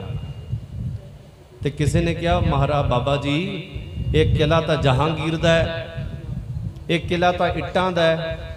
ਇਹ ਕਿਲਾ ਤਾਂ ਪੱਥਰਾਂ ਦਾ ਹੈ, ਮਿੱਟੀ ਦਾ ਹੈ। ਤੇ ਤੁਸੀਂ ਇਤਨੇ ਸੂਝਵਾਨ ਗੁਰੂ ਨਾਨਕ ਦੇ ਸਿੱਖ, ਮਿੱਟੀ ਨੂੰ ਮੱਥਾ ਟੇਕੀ ਜਾ ਰਹੇ ਹੋ, ਪੱਥਰ ਨੂੰ ਮੱਥਾ ਟੇਕੀ ਜਾ ਰਹੇ ਹੋ, ਉਹ ਵੀ ਜਹਾਂਗੀਰ ਦਾ ਕਿਲਾ। ਤੇ ਆਪਾਂ ਕਹਿ ਦਿੰਦੇ ਹਾਂ ਕਿ ਸਾਡੇ ਘਰ ਪਾਠ ਰੱਖਿਆ ਹੈ। ਜਦੋਂ ਗੁਰੂ ਗ੍ਰੰਥ ਸਾਹਿਬ ਮਹਾਰਾਜ ਸਾਡੇ ਘਰ ਵਿੱਚ ਆਣ ਉਦੋਂ ਕਦੇ ਨਹੀਂ ਕਹਿਣਾ ਕਿ ਸਾਡਾ ਘਰ ਹੈ। ਜਿਸ ਘਰ ਵਿੱਚ ਗੁਰੂ ਸਾਹਿਬ ਜੀ ਵਿਰਾਜੇ ਹਨ, ਉਹ ਗੁਰੂ ਦਾ ਘਰ ਹੈ। ਤੇ ਬਾਬਾ ਬੁੱਢਾ ਜੀ ਕਹਿਣ ਲੱਗੇ, ਹੋਵੇਗਾ ਜਹਾਂਗੀਰ ਦਾ ਕਿਲਾ ਪਰ ਅੱਜ ਮੇਰੇ ਮਾਲਕ ਦੀ ਇੱਥੇ ਮਲਕੀਅਤ ਹੈ। ਮੇਰਾ ਮਾਲਕ ਰਾਜ ਕਰ ਰਿਹਾ ਹੈ। ਆਖੋ ਸਤਿਨਾਮ ਮੇਰਾ ਹਰਗੋਬਿੰਦ ਸਾਹਿਬ ਇੱਥੇ ਰਾਜ ਕਰ ਰਿਹਾ ਕਿਉਂਕਿ ਉਹ ਅੰਦਰ ਬੈਠਾ ਹੈ। ਉਹ ਅੰਦਰ ਬੈਠਾ ਰਾਜ ਕਰ ਰਿਹਾ, ਬਾਦਸ਼ਾਹ ਤੇ ਬੈਠਾ ਦਿੱਲੀ। ਜਹਾਂਗੀਰ ਤਾਂ ਦਿੱਲੀ ਬੈਠਾ ਹੈ, ਇੱਥੇ ਤਾਂ ਮੇਰਾ ਗੁਰੂ ਹਰਗੋਬਿੰਦ ਸਾਹਿਬ ਬੈਠਾ ਅੰਦਰ। ਅਸੀਂ ਮਿੱਟੀ ਨੂੰ ਮੱਥਾ ਨਹੀਂ ਟੇਕਿਆ, ਅੰਦਰ ਜਿਹੜੀ ਜੋਤ ਹੈ ਨਾ ਬਲਦੀ ਪਈ, ਅਸੀਂ ਉਹਨੂੰ ਮੱਥਾ ਟੇਕਿਆ ਇਤਨਾ ਸਿਦਕ ਸੀ। ਜਹਾਂਗੀਰ ਨੇ ਸੁਣਿਆ ਕਿ ਬੜੇ ਪਿਆਰ ਵਾਲੇ ਸਿੱਖ ਹਨ, ਪ੍ਰਕਰਮਾ, ਕਿਲੇ ਦੀ ਪ੍ਰਕਰਮਾ ਕਰਕੇ ਮੱਥਾ ਟੇਕ ਕੇ ਆ ਜਾਂਦੇ। ਪਰ ਉਸਨੇ ਚਲੋ ਸਿਆਣਿਆਂ ਨੇ ਸਮਝਾਇਆ, ਸਾਈਂ ਮੀਆਂ ਮੀਰ ਵਰਗਿਆਂ ਨੇ ਸਮਝਾਇਆ ਤੇ ਉਸਨੇ ਸਤਿਗੁਰੂ ਜੀ ਨੂੰ ਰਿਹਾ ਕਰ ਦਿੱਤਾ। ਫਿਰ ਬਾਅਦ ਵਿੱਚ ਸਤਿਗੁਰੂ ਜੀ ਦੀ ਜਹਾਂਗੀਰ ਦੇ ਨਾਲ ਮਿੱਤਰਤਾ ਹੋ ਗਈ। ਦਿੱਲੀ ਦੇ ਕੋਲ ਸਤਿਗੁਰੂ ਜੀ ਦਾ ਅਤੇ ਜਹਾਂਗੀਰ ਦਾ ਡੇ- ਡੇਰਾ ਹੈ। ਇੱਕ ਪਾਸੇ ਜਹਾਂਗੀਰ ਦੀਆਂ ਫੌਜਾਂ ਆਪਣਾ ਕੈਂਪ ਲਾ ਕੇ ਬੈਠੇ ਹਨ। ਉਹਨਾਂ ਦੀ ਛਾਉਣੀ ਹੈ। ਦੂਜੇ ਪਾਸੇ ਸ੍ਰੀ ਗੁਰੂ ਹਰਗੋਬਿੰਦ ਸਾਹਿਬ ਮਹਾਰਾਜ ਦੀ ਛਾਉਣੀ ਸਿੰਘ। ਤੇ ਨਾਲ ਘੋੜਿਆਂ ਦਾ ਤਬੇਲਾ ਬਣਿਆ ਪਿਆ। ਇਦਾਂ ਰੌਣਕਾਂ ਲੱਗੀਆਂ ਸਾਰੇ ਪਾਸੇ ਤੇ ਉਸ ਨਗਰ ਦੇ ਵਿੱਚ ਇੱਕ ਬੜਾ ਪਿਆਰ ਵਾਲਾ ਗੁਰੂ ਨਾਨਕ ਦਾ ਸਿੱਖ ਸੀ, ਦਿੱਲੀ ਦੇ ਵਿੱਚ ਰਹਿਣ ਵਾਲਾ। ਤੇ ਜਿਹੜਾ ਆਪਣੇ ਹੱਥੀਂ ਘਾਹ ਵੱਢ ਕੇ, ਘਾਹ ਨੂੰ ਬਾਜ਼ਾਰ ਵਿੱਚ ਵੇਚ ਕੇ, ਉਹਦੇ ਤੋਂ ਜਿਹੜੀ ਕਮਾਈ ਹੁੰਦੀ ਸੀ, ਉਹ ਤੋਂ ਆਪਣਾ ਰਿਜ਼ਕ ਰੋਟੀ ਭਾਵ ਕੇ ਘਰ ਦਾ ਗੁਜ਼ਾਰਾ ਕਰਦਾ ਸੀ। ਜਦੋਂ ਉਸਨੇ ਸੁਣਿਆ ਕਿ ਸ੍ਰੀ ਗੁਰੂ ਹਰਗੋਬਿੰਦ ਸਾਹਿਬ ਮਹਾਰਾਜ ਸਾਡੇ ਨਗਰ ਦੇ ਕੋਲ ਆਏ, ਕਿਉਂ ਨਾ ਮੈਂ ਜਿਹੜੇ ਉਹਨਾਂ ਨੇ ਦੋ ਘੋੜੇ ਰੱਖੇ ਆ ਉਹਨਾਂ ਜਿਹੜੇ ਇਕਲੌਤੇ ਘੋੜੇ ਉਹਨਾਂ ਦੇ, ਗੁਰੂ ਸਾਹਿਬ ਜੀ ਦੇ ਘੋੜੇ, ਉਹਨਾਂ ਵਾਸਤੇ ਸਾਫ਼ ਸੁਥਰਾ ਘਾਹ ਲੈ ਕੇ ਜਾਵਾਂ ਤੇ ਆਪਣੀ ਕਮਾਈ ਦੇ ਵਿੱਚੋਂ ਦਸਵੰਧ ਕੱਢ ਕੇ ਲੈ ਕੇ ਜਾਵਾਂ। ਉਸ ਨੇ ਆਪਣੀ ਕਮਾਈ ਦੇ ਵਿੱਚੋਂ ਇੱਕ ਟਕਾ ਕੱਢਿਆ ਦਸਵੰਧ ਦਾ ਤੇ ਇੱਕ ਬਹੁਤ ਹੀ ਸਾਫ਼ ਸੁਥਰੇ ਹਰੇ ਹਰੇ ਘਾਹ ਦੀ ਪੰਡ ਬੰਨੀ ਤੇ ਜਾ ਕਰਕੇ ਉਹਨਾਂ ਛਾਉਣੀਆਂ ਦੇ ਵਿੱਚ ਚਲਾ ਗਿਆ। ਦੋਨੇ ਟੈਂਟ ਇਕੱਠੇ ਲੱਗੇ ਸਨ। ਜਹਾਂਗੀਰ ਦੇ ਦਰਬਾਰੀਆਂ ਨੂੰ ਜਿਹੜੇ ਪਹਿਰੇਦਾਰ ਖੜੇ ਸਨ ਉਹਨਾਂ ਨੂੰ ਜਾ ਕੇ ਕਹਿਣ ਲੱਗਾ ਮੈਂ ਪਾਤਸ਼ਾਹ ਨੂੰ ਮਿਲਣਾ ਹੈ। ਆਖੋ ਸਤਨਾਮ ਸ੍ਰੀ ਵਾਹਿਗੁਰੂ। ਪਾਤਸ਼ਾਹ ਤੇ ਸੱਚੇ ਪਾਤਸ਼ਾਹ। ਕਹਿੰਦੇ ਮੈਂ ਪਾਤਸ਼ਾਹ ਨੂੰ ਮਿਲਣਾ ਹੈ। ਜਹਾਂਗੀਰ ਦੇ ਦਰਬਾਰੀ ਕਹਿਣ ਲੱਗੇ, ਕੋਈ ਗੱਲ ਨਹੀਂ, ਤੈਨੂੰ ਮਿਲਾ ਦਿੰਦੇ ਆ ਪਰ ਅੰਦਰੋਂ ਪੁੱਛਣਾ ਪੈਣਾ ਪਾਤਸ਼ਾਹ ਨੂੰ। ਬਾਬਾ ਜੀ ਦੀ ਬਾਣੀ ਕਹਿੰਦੀ ਹੈ ਜਿਹਦਰ ਆਵਤ ਜਾਤੇ ਹੋ, ਹਟਕੈ ਨਾਹੀ ਕੋਏ ਸੋਦਰ ਕੈਸੇ ਛੋਡੀਏ ਜੋ ਦਰ ਐਸਾ ਹੋਏ। ਹੋਰਨਾਂ ਦੇ ਦਰਬਾਰਾਂ ਵਿੱਚ ਜਾਣ ਵਾਸਤੇ ਪੁੱਛਣਾ ਪੈਂਦਾ ਹੈ। ਇਸ ਦਰਬਾਰ ਵਿੱਚ ਆਉਣ ਵਾਸਤੇ ਪੁੱਛਣਾ ਨਹੀਂ ਪੈਂਦਾ ਕਿਸੇ ਨੂੰ ਕਿ ਭਾਈ ਸਾਹਿਬ ਮੱਥਾ ਟੇਕ ਲਈ ਅੰਦਰ? ਨਹੀਂ। ਕਿਸੇ ਨੂੰ ਨਾ ਨਹੀਂ ਕਿਸੇ ਵੀ ਧਰਮ ਦਾ ਹੋਵੇ ਕਿਸੇ ਵੀ ਜਾਤੀ ਦਾ ਹੋਵੇ, ਕਿਸੇ ਵੀ ਦੀ ਮਜ਼ਹਬ ਦਾ ਹੋਵੇ, ਰੋਕਿਆ ਨਹੀਂ ਜਾਂਦਾ। ਦਰਬਾਰੀ ਗਏ ਪੁੱਛਣ, ਕਹਿਣ ਲੱਗੇ, ਪਾਤਸ਼ਾਹ, ਇੱਕ ਬਾਹਰ ਘਾਹੀ ਆਇਆ, ਘਾਹ ਲੈ ਕੇ ਤੇ ਗਰੀਬੜਾ ਜਿਹਾ ਤੁਹਾਨੂੰ ਮਿਲਣਾ ਚਾਹੁੰਦਾ, ਮਿਲਾ ਦਈਏ। ਕਹਿੰਦਾ, ਮਿਲਾ ਦਿਓ। ਜਾ ਕੇ ਮੱਥਾ ਟੇਕਿਆ, ਘਾਹੀ ਨੇ। ਕਹਿਣ ਲੱਗੇ, ਪਾਤਸ਼ਾਹ, ਆ ਮੇਰੀ ਕਿਰਤ ਕਮਾਈ ਇੱਕ ਟਕਾ ਤੇ ਮੈਂ ਬਹੁਤ ਹਰਾ ਹਰਾ ਘਾਹ ਲੈ ਕੇ ਆਇਆ ਤੁਹਾਡੇ ਘੋੜੇ ਵਾਸਤੇ ਇਹਨੂੰ ਪ੍ਰਵਾਨ ਕਰੋ। ਜਹਾਂਗੀਰ ਬੜਾ ਖੁਸ਼ ਹੋਇਆ, ਕਹਿਣ ਲੱਗੇ, ਹੈਗਾ ਤਾਂ ਗਰੀਬ ਹੈ, ਭਾਵਨਾ ਕਿੱਡੀ ਤਕੜੀ ਹੈ ਵਿਚਾਰੇ ਦੀ। ਗਰੀਬ ਹੈ ਤੇ ਮੇਰਾ ਸਤਿਕਾਰ ਕਿੰਨਾ ਕਰਦਾ ਹੈ? ਕਹਿਣ ਲੱਗਾ, ਦੱਸ ਕੀ ਚਾਹੀਦਾ ਤੇਰੀ ਗਰੀਬੀ ਦੂਰ ਕਰ ਦਈਏ ਤੈਨੂੰ ਘੋੜਾ ਦੇ ਦਿੰਨੇ ਚੱਲਣ ਫਿਰਨ ਵਾਸਤੇ, ਜਾਂ ਤੈਨੂੰ ਥੋੜੀ ਬਹੁਤੀ ਜ਼ਗੀਰ ਲਵਾ ਦਿੰਨੇ ਤੇਰੇ ਨਾਂ ਤੇ, ਜ਼ਮੀਨ ਲਵਾ ਦਿੰਨੇ ਤੇਰੇ ਨਾਂ ਤੇ, ਜਿੱਥੋਂ ਕਮਾਈ ਆਈ ਜਾਵੇ। ਦੱਸ ਕੀ ਚਾਹੀਦਾ? ਕਹਿਣ ਲੱਗਾ, ਨਹੀਂ, ਮੈਨੂੰ ਕੁਝ ਨਹੀਂ ਚਾਹੀਦਾ। ਦੋ ਜਹਾਨ ਦੀ ਖੁਸ਼ੀ ਚਾਹੀਦੀ ਹੈ। ਆਪਣੀ ਸਿੱਖੀ ਦਿਓ ਤੇ ਮੈਨੂੰ ਜੀਵਨ ਮੁਕਤੀ ਮਿਲ ਜਾਵੇ। ਉਹ ਸੁਣ ਕੇ, ਇਹ ਮੰਗਾਂ ਸੁਣ ਕੇ ਹੈਰਾਨ ਹੋ ਗਏ। ਕਹਿੰਦੇ, ਇਹ ਤਾਂ ਮੇਰੇ ਕੋਲ ਮਿਲਦਾ ਨਹੀਂ। ਹਾਂ, ਮੈਂ ਸੁਣਿਆ ਸੀ, ਜਿਨ ਜਿਹੜੇ ਗੁਰੂ ਹਰਗੋਬਿੰਦ ਸਾਹਿਬ ਜੀ ਦੇ ਦਰਬਾਰ ਵਿੱਚ ਜਾਂਦੇ, ਉਹ ਇੱਥੋਂ ਚੀਜ਼ਾਂ ਮੰਗਦੇ। ਕਹਿੰਦੇ, ਭਾਈ, ਤੂੰ ਗਲਤ ਜਗ੍ਹਾ ਤੇ ਆ ਗਿਆ। ਜਿਹੜੀਆਂ ਚੀਜ਼ਾਂ ਤੂੰ ਮੰਗਦਾ ਇੱਥੇ ਨਹੀਂ ਮਿਲਣੀਆਂ, ਉਹ ਸਾਹਮਣੇ ਦਰਬਾਰ ਹੈ। ਛੇਵੇਂ ਸਤਿਗੁਰੂ ਗੁਰੂ ਹਰਗੋਬਿੰਦ ਸਾਹਿਬ ਜੀ ਦਾ ਉੱਥੇ ਚਲਾ ਜਾ। ਕਹਿੰਦਾ ਹੈ, ਇਹ ਛੇਵੇਂ ਸਤਿਗੁਰੂ ਸ੍ਰੀ ਗੁਰੂ ਹਰਗੋਬਿੰਦ ਸਾਹਿਬ ਦਾ ਦਰਬਾਰ ਨਹੀਂ, ਸ- ਸੱਚੇ ਪਾਤਸ਼ਾਹ ਦਰਬਾਰ ਨਹੀਂ, ਕਹਿਣ ਲੱਗੇ ਨਹੀਂ। ਉਸ ਨੇ ਉਹ ਪੰਡ ਚੱਕੀ ਘਾਹ ਦੀ, ਆਪਣੇ ਸਿਰ ਤੇ ਰੱਖੀ। ਜਹਾਂਗੀਰ ਦੇ ਸਾਹਮਣੇ ਜਿਹੜਾ ਟੇਬਲ ਸੀ, ਉਹਦੇ ਉੱਪਰ ਟਕਾ ਪਿਆ ਸੀ, ਟਕਾ ਵੀ ਚੁੱਕ ਕੇ ਛੇਤੀ ਛੇਤੀ ਜੇਬ ਵਿੱਚ ਪਾ ਲਿਆ। ਜਹਾਂਗੀਰ ਕਹਿਣ ਲੱਗਾ ਘਾਹ ਦੀ ਪੰਡ ਲੈ ਜਾ ਕੋਈ ਗੱਲ ਨਹੀਂ ਪਰ ਟਕਾ ਨਾ ਚੁੱਕ। ਕਹਿੰਦਾ ਕਿਉਂ? ਕਹਿੰਦਾ ਮੇਰੀ ਬੇਇੱਜ਼ਤੀ ਹੈ ਇਹਦੇ ਵਿੱਚ ਆਖੋ ਸਤਨਾਮ। ਸ੍ਰੀ ਵਾਹਿਗੁਰੂ। ਕਿਸ ਨੂੰ ਤੋਹਫਾ ਦੇ ਦਿਓ ਉਹਦੇ ਕੋਲ ਮੰਗ ਲਈ ਮੈਂ ਤੇਰਾ ਨਹੀਂ ਭਾਈ ਸਨ ਦੇ ਦੇ ਉਹਦੀ ਬੇਇੱਜ਼ਤੀ ਹੁੰਦੀ ਹੈ ਨਾ। ਉਹ ਕਹਿਣ ਲੱਗਾ ਨੇ ਟਕਾ ਤੈਨੂੰ ਨਹੀਂ ਦੇਣਾ। ਇਹ ਟਕਾ ਤੇਰੇ ਫੌਜਾਂ ਦੇ ਮੂੰਹ ਵਿੱਚ ਜਾਵੇਗਾ ਨਾ। ਇਹ ਟਕਾ ਤੇਰੇ ਫੌਜਾਂ ਦੇ ਮੂੰਹ 'ਚ ਖੁਰਾਕ ਬਣ ਕੇ ਜਾਵੇਗਾ ਤੇ ਉਹਨਾਂ ਨੇ ਲੋਕਾਂ ਨੂੰ ਲੁੱਟਣਾ ਹੀ ਹੈ। ਪਰ ਇਹ ਮੇਰਾ ਟਕਾ ਜਦੋਂ ਗੁਰਸਿੱਖਾਂ ਦੇ ਮੂੰਹ ਵਿੱਚ ਲੰਗਰ ਬਣ ਕੇ ਜਾਵੇਗਾ ਨਾ ਤੇ ਉਹਨਾਂ ਨੇ ਸਿਮਰਨ ਕਰਨਾ ਹੈ। ਆਖੋ ਸਤਨਾਮ। ਸ੍ਰੀ ਵਾਹਿਗੁਰੂ। ਇਹ ਮੇਰਾ ਟਕਾ ਸਫਲ ਉੱਥੇ ਹੋਵੇਗਾ ਇੱਥੇ ਨਹੀਂ ਹੋਣਾ। ਤੇ ਚੁੱਕਿਆ ਟਕਾ ਤੇ ਚਲਾ ਗਿਆ ਛੇਤੀ ਛੇਤੀ ਜਾ ਕੇ ਸਤਿਗੁਰੂ ਜੀ ਬਾਹਰੇ ਖੜੇ ਸਨ ਆਪਣੇ ਤੰਬੂ ਤੋਂ। ਸਤਿਗੁਰੂ ਜੀ ਦੇ ਚਰਨੀ ਜਾ ਕੇ ਮੱਥਾ ਟੇਕਿਆ ਤੇ ਘਾਹ ਦੀ ਪੰਡ ਇੱਕ ਪਾਸੇ ਰੱਖੀ ਤੇ ਸਤਿਗੁਰੂ ਦੇ ਚਰਨਾਂ ਵਿੱਚ ਉਹ ਟਕਾ ਰੱਖ ਕੇ ਕਹਿਣ ਲੱਗਾ ਮਹਾਰਾਜ ਅੱਜ ਇਹ ਮੱਥਾ ਇੱਕ ਝੂਠੇ ਪਾਤਸ਼ਾਹ ਦੇ ਅੱਗੇ ਝੁਕ ਗਿਆ। ਆਖੋ ਸਤਨਾਮ। ਸ੍ਰੀ ਵਾਹਿਗੁਰੂ। ਝੂਠੇ ਪਾਤਸ਼ਾਹ ਦੇ ਅੱਗੇ ਝੁਕ ਗਿਆ ਮੇਰਾ ਜੀਵਨ ਬਰਬਾਦ ਹੋ ਗਿਆ ਸਮਝੋ। ਪਰ ਮੇਰੇ ਚੰਗੇ ਭਾਗ ਛੇਤੀ ਜਾਗ ਪਏ ਕਿ ਤੁਹਾਡੇ ਦਰਸ਼ਨ ਹੋ ਗਏ। ਮਹਾਰਾਜ ਕਿਰਪਾ ਕਰੋ ਮੈਨੂੰ ਜੀਵਨ ਮੁਕਤੀ ਦੋ ਜਹਾਨ ਦੀਆਂ ਖੁਸ਼ੀਆਂ ਤੇ ਆਪਣੀ ਸਿੱਖੀ ਬਖਸ਼ਿਸ਼ ਕਰੋ ਨਾਮ ਦੀ ਦਾਤ ਮੇਰੀ ਝੋਲੀ ਵਿੱਚ ਪਾਓ। ਸਤਿਗੁਰੂ ਜੀ ਨੇ ਤਿੰਨ ਵਾਰ ਕਿਹਾ ਨਿਹਾਲ ਨਿਹਾਲ ਨਿਹਾਲ। ਜਦੋਂ ਸਤਿਗੁਰੂ ਜੀ ਨੇ ਤਿੰਨ ਵਾਰ ਨਿਹਾਲ ਨਿਹਾਲ ਨਿਹਾਲ ਕਹਿ ਕੇ ਗਲੇ ਦੇ ਨਾਲ ਲਾਇਆ ਨਾ, ਤੇ ਉਹਨੂੰ ਇੰਜ ਮਹਿਸੂਸ ਹੋਇਆ ਕਿ ਦੁਨੀਆ ਦੀਆਂ ਸਾਰੀਆਂ ਖੁਸ਼ੀਆਂ ਮੇਰੀ ਘਰ, ਮੇਰੀ ਝੋਲੀ ਵਿੱਚ ਪੈ ਗਈਆਂ। ਮੈਨੂੰ ਇੰਜ ਲੱਗਦਾ ਮੈਂ ਜੀਵਨ ਦੇ ਸਾਰੇ ਪਾਪ ਧੋ ਲਏ ਮੈਨੂੰ ਇੰਜ ਲੱਗਦਾ ਕਿ ਮੈਂ ਜਨਮਾਂ ਜਨਮਾਂਤਰਾਂ ਦੀ ਪਾਪਾਂ ਦੀ ਮੈਰ ਜਿਹੜੀ ਚੁੱਕੀ ਫਿਰਦਾ ਸੀ ਨਾ, ਉਹ ਅੱਜ ਲੈ ਗਈ ਹੈ ਕਿਉਂਕਿ ਮੇਰੇ ਗੁਰੂ ਨੇ ਮੈਨੂੰ ਆਪਣੇ ਗਲ ਦੇ ਨਾਲ ਲਾਇਆ। ਮੇਰੇ ਗੁਰੂ ਨੇ ਆਪਣੀ ਗਲਵਕੜੀ ਵਿੱਚ ਲੈ ਕੇ, ਇਹਨਾਂ ਨੇ ਦੀਨ ਦੁਨੀ ਦਾ ਪਾਤਸ਼ਾਹ ਪਾਤਸ਼ਾਹ ਪਾਤਸ਼ਾਹ ਅਡੋਲਾ। ਆਓ, ਸਹਿਬ ਜੀ ਦੀ ਪਾਵਨ ਪੁੱਤਰ ਬਾਣੀ ਦੇ ਸ਼ਬਦ ਸਰਵਣ ਕਰੋ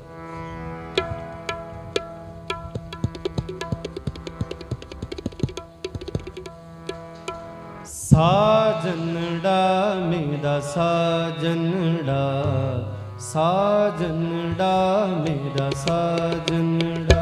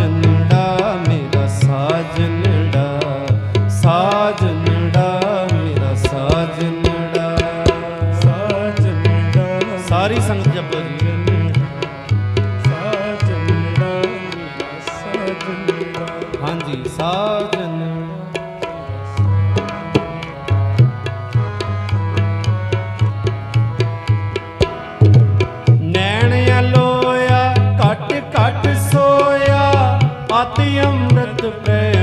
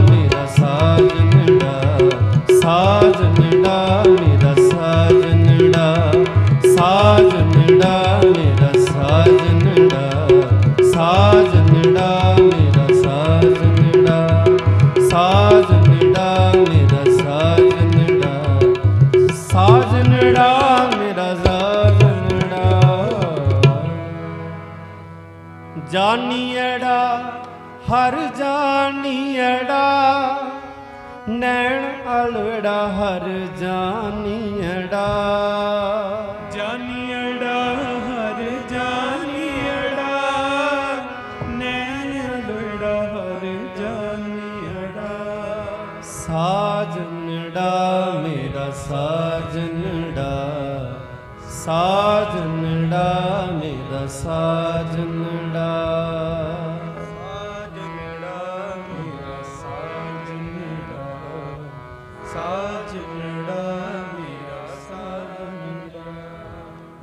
ਉਸ ਘਾਈ ਨੇ ਇਹ ਮਹਿਸੂਸ ਕੀਤਾ ਹੋਵੇਗਾ।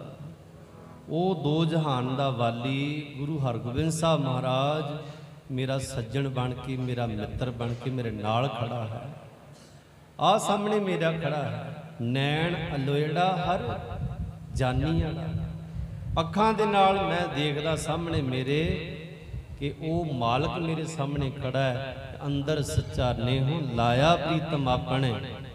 ਤਨ ਮਨ ਹੋਏ ਨਿਹਾਲ ਜਾ ਗੁਰ ਦੇਖਾ ਸਾਹਮਣੇ। ਗਰੀਬ ਨਿਵਾਸ ਸੱਚੇ ਪਾਤਸ਼ਾਹ ਜੀ ਨੂੰ ਆਪਾਂ ਜਦੋਂ ਇਤਿਹਾਸ ਪੜ੍ਹਦੇ ਹਾਂ ਕਿ ਹਰੇਕ ਬੰਦਾ ਕਹਿੰਦਾ ਮੇਰੇ ਸਤਿਗੁਰੂ ਜੀ ਦੇ ਨਾਲ ਖੜੇ ਹਨ, ਸਤਿਗੁਰੂ ਜੀ ਮੇਰੇ ਨਾਲ ਚੱਲਦੇ ਪਏ ਹਨ। ਆਪਾਂ ਵੀ ਮਹਿਸੂਸ ਕਰੀਏ ਕਸ਼ਮੀਰ ਦੀ ਧਰਤੀ ਤੇ ਵਿਚਰਦਿਆਂ ਹੋਇਆਂ ਸਤਿਗੁਰੂ ਜੀ ਜਦੋਂ ਬਾਰਾਮੂਲਾ ਦੇ ਕੋਲ ਪਹੁੰਚੇ ਸਤਿਗੁਰੂ ਜੀ ਦੇ ਕੰਨਾਂ ਦੇ ਵਿੱਚ ਇੱਕ ਬੱਚੇ ਦੇ ਰੋਣ ਦੀ ਆਵਾਜ਼ ਪਈ। ਬੱਚਾ ਰੋ ਰਿਹਾ ਕੋਈ ਤੇ ਸਤਿਗੁਰੂ ਜੀ ਨੇ ਕਿਹਾ ਕਿ ਭਾਈ ਆਲੇ ਦੁਆਲੇ ਦੇਖੋ ਕਿ ਬੱਚਾ ਰੋਂਦਾ ਹੈ। ਜਦੋਂ ਸਿੱਖਾਂ ਨੇ ਦੇਖਿਆ ਕਿ ਇੱਕ ਕੂੜੇ ਦੇ ਢੇਰ ਦੇ ਉੱਪਰ ਬੱਚਾ ਸੁੱਟਿਆ ਕਿਸੇ ਨੇ ਆਖੋ ਸਤਨਾਮ। ਸ੍ਰੀ ਵਾਹਿਗੁਰੂ। ਕੂੜੇ ਦੇ ਢੇਰ ਤੇ। ਵਿਚਾਰਾ ਉੱਥੇ ਕੂੜੇ ਦੇ ਢੇਰ ਦੇ ਉੱਪਰ ਰੋ ਰਿਹਾ ਬੱਚਾ। ਪਰ ਕੀ ਦੇਖਿਆ, ਕਿਉਂ ਸੁੱਟ ਦਿੱਤਾ ਇਸ ਨੂੰ ਕਿਉਂਕਿ ਜੰਮਦਿਆਂ ਹੀ ਇਹਦੇ ਮੂੰਹ 'ਚ ਛੋਟੀਆਂ ਛੋਟੀਆਂ ਦੰਦੀਆਂ। ਛੋਟੀਆਂ ਹਾਲਾਂਕਿ ਜੰਮਦੇ ਬੱਚੇ ਦੇ ਦੰਦ ਨਹੀਂ ਹੁੰਦੇ। ਪਰ ਉਹਦੇ ਮੂੰਹ 'ਚ ਜੰਮਦੇ ਬੱਚੇ ਦੇ ਦੰਦ ਸਨ, ਛੋਟੇ ਛੋਟੇ। ਤੇ ਉਹ ਵੀ ਬਹੁਤ ਭਿਆਨਕ ਲੱਗੇ। ਕਿਸੇ ਨੇ ਇਸ ਕਰਕੇ ਵਹਿਮ ਵਿੱਚ ਕਿ ਕੋਈ ਬਲਾ ਸਾਡੇ ਘਰ ਜੰਮ ਪਈ ਹੈ ਤੇ ਇਸ ਨੂੰ ਸੁੱਟ ਦਿਓ ਸੁੱਟ ਦਿੱਤਾ। ਸਤਿਗੁਰੂ ਜੀ ਨੇ ਉਸ ਦਾ ਮੂੰਹ ਧੋਤਾ। ਉਸ ਨੂੰ ਸਾਫ਼ ਕੱਪੜੇ ਵਿੱਚ ਲਪੇਟਿਆ। ਕਹਿਣ ਲੱਗੇ ਕਿੰਨਾ ਸੁਥਰਾ ਬੱਚਾ ਹੈ। ਆਖੋ ਸਤਨਾਮ। ਸ੍ਰੀ ਵਾਹਿਗੁਰੂ। ਕਿੰਨਾ ਸੋਹਣਾ ਬੱਚਾ ਹੈ। ਅੱਜ ਤੋਂ ਬਾਅਦ ਇਹਦਾ ਨਾਮ ਹੀ ਸੁਥਰਾ ਹੈ। ਸੁਥਰਾ ਕਿਆ ਕਰੋ ਸਾਰੇ ਉਸ ਸਤਿਗੁਰੂ ਜੀ ਨੇ ਬੜੇ ਪਿਆਰ ਦੇ ਨਾਲ ਲਾੜ ਦੇ ਨਾਲ ਉਸ ਨੂੰ ਪਾਲਿਆ ਤੇ ਆਪਣੇ ਨਾਲ ਲੈ ਕੇ ਆ ਗਏ ਬੜਾ ਚਿਰ ਸਤਿਗੁਰੂ ਜੀ ਦੀ ਸੰਗਤ ਵਿੱਚ ਰਿਹਾ ਤੇ ਸੰਗਤ ਕਰਦਿਆਂ ਕਰਦਿਆਂ ਇੱਕ ਤਾਂ ਲਾੜ ਪਿਆਰ ਵਿੱਚ ਪਲਿਆ ਸੀ ਤੇ ਪਰ ਸ਼ਰਾਰਤੀ ਬੜਾ ਹੋ ਗਿਆ। ਮਜ਼ਾਕੀਆ ਬਹੁਤ ਹੋ ਗਿਆ। ਕੋਈ ਵੀ ਕਿਸੇ ਦੇ ਨਾਲ ਗੱਲ ਕਰਨੀ, ਮਜ਼ਾਕ ਵਿੱਚ ਹੀ ਕਰਦਾ ਕਿਸੇ ਨੂੰ ਮਿਲਦਾ ਤੇ ਹੱਸ ਕੇ ਬੋਲਦਾ, ਹਰੇਕ ਦੇ ਨਾਲ ਮਜ਼ਾਕ, ਹਰੇਕ ਨੂੰ ਟੀਚਰ। ਪਰ ਸਤਿਗੁਰ ਕਦੇ ਵੀ ਉਹਦਾ ਗੁੱਸਾ ਨਹੀਂ ਕਰਦੇ ਸਨ। ਪਰ ਕਈ ਵਾਰ ਸਿੱਖਿਆ ਐਸੀ ਦੇ ਦਿੰਦਾ ਸੀ ਨਾ, ਸਤਿਗੁਰ ਜੀ ਪਿਆਰ ਬਹੁਤ ਕਰਦੇ ਸਨ। ਇੱਕ ਵਾਰ ਉਹਦੇ ਘਰ ਦੇ ਜਦੋਂ ਵੱਡਾ ਹੋ ਗਿਆ ਨਾ, ਘਰ ਦੇ ਆ ਗਏ ਕਿ ਉਹ ਤਾਂ ਸਾਡਾ ਬੱਚਾ ਉੱਥੇ ਰਹਿੰਦਾ ਹੈ। ਗੁਰੂ ਹਰਗੋਬਿੰਦ ਸਾਹਿਬ ਮਹਾਰਾਜ ਜੀ ਕੋਲ ਮਹਾਰਾਜ ਨੇ ਪਾਲ ਲਿਆ ਉਸ ਨੂੰ। ਉਹਦੇ ਮਾਤਾ ਪਿਤਾ ਆਏ, ਕਹਿਣ ਲੱਗੇ, ਜੀ, ਸਾਨੂੰ ਇਹ ਬੱਚਾ ਦੇ ਦਿਓ। ਅਸੀਂ ਗਲਤੀ ਮੰਨਦੇ ਹਾਂ ਕਿ ਅਸੀਂ ਛੱਡ ਦਿੱਤਾ ਸੀ। ਅਸੀਂ ਹੁਣ ਚਾਹੁੰਦੇ ਹਾਂ ਇਹ ਬੱਚਾ ਸਾਨੂੰ ਮਿਲ ਜਾਵੇ। ਮਹਾਰਾਜ ਨੇ ਦੇ ਦਿੱਤਾ। ਕਹਿਣ ਲੱਗੇ, ਤੁਹਾਡੇ ਕੋਲ ਰਵੇਗਾ ਨਹੀਂ, ਪਰ ਇਹ ਰਵੇਗਾ ਸੰਗਤ ਵਿੱਚ ਹੀ। ਲੈ ਜਾਓ। ਜਦੋਂ ਚਲਾ ਗਿਆ ਤੇ ਥੋੜਾ ਚਿਰ ਰਿਹਾ ਮਾਂ-ਬਾਪ ਦੀ ਸੇਵਾ ਕੀਤੀ, ਪਰ ਮਾਂ-ਬਾਪ ਚੜ੍ਹਾਈ ਕਰ ਗਏ। ਪਰ ਇਹਦਾ ਦਿਲ ਨਹੀਂ ਕੀਤਾ ਘਰ ਰਹਿਣ ਵਾਸਤੇ। ਜੋ ਵੀ ਘਰ-ਬਾਰ ਸੀ ਮਾਲ ਅਸਬਾਬ ਸੀ ਸਾਰਾ ਵੇਚ ਕੇ ਜੋ ਧਨ ਸੀ ਨਾ ਗੁਰੂ ਦੇ ਖਜ਼ਾਨੇ ਵਿੱਚ ਲੈ ਕੇ ਪਾ ਦਿੱਤਾ। ਆਖੋ ਸਤਨਾਮ। ਸ੍ਰੀ ਵਾਹਿਗੁਰੂ। ਉਹ ਗੱਠ ਭਰੀ ਪਈ ਹੈ। ਗਠੜੀ ਭਰੀ ਪਈ। ਤੇ ਮਹਾਰਾਜ ਕਹਿਣ ਲੱਗੇ ਸੁਥਰਿਆ ਇਹ ਚ ਕੀ ਹੈ? ਕਹਿਣ ਲੱਗੇ ਮੈਂ ਘਰ-ਬਾਰ ਵੇਚ ਕੇ ਮਹਾਰਾਜ ਤੁਹਾਡੇ ਖਜ਼ਾਨੇ ਵਿੱਚ ਪਾਣ ਲੱਗਾ ਮੈਨੂੰ ਨਹੀਂ ਲੋੜ। ਇੱਥੇ ਲੰਗਰ ਚ ਉਤਾਰ ਦਿਓ। ਸਤਿਗੁਰੂ ਕਹਿਣ ਲੱਗੇ ਤੂੰ ਤਾਂ ਅਜੇ ਸ਼ਾਹ ਬਣ ਗਿਆ। ਤੂੰ ਤਾਂ ਸ਼ਾਹ ਬਣ ਗਿਆ। ਸੰਗਤ ਜੀ, ਅੱਜ ਤੋਂ ਬਾਅਦ ਇਸ ਨੂੰ ਸੁਥਰਾ ਸ਼ਾਹ ਕਿਹਾ ਕਰੋ ਸੁਤਰਾ ਸ਼ਾਹ ਨਾਮ ਪੈ ਗਿਆ।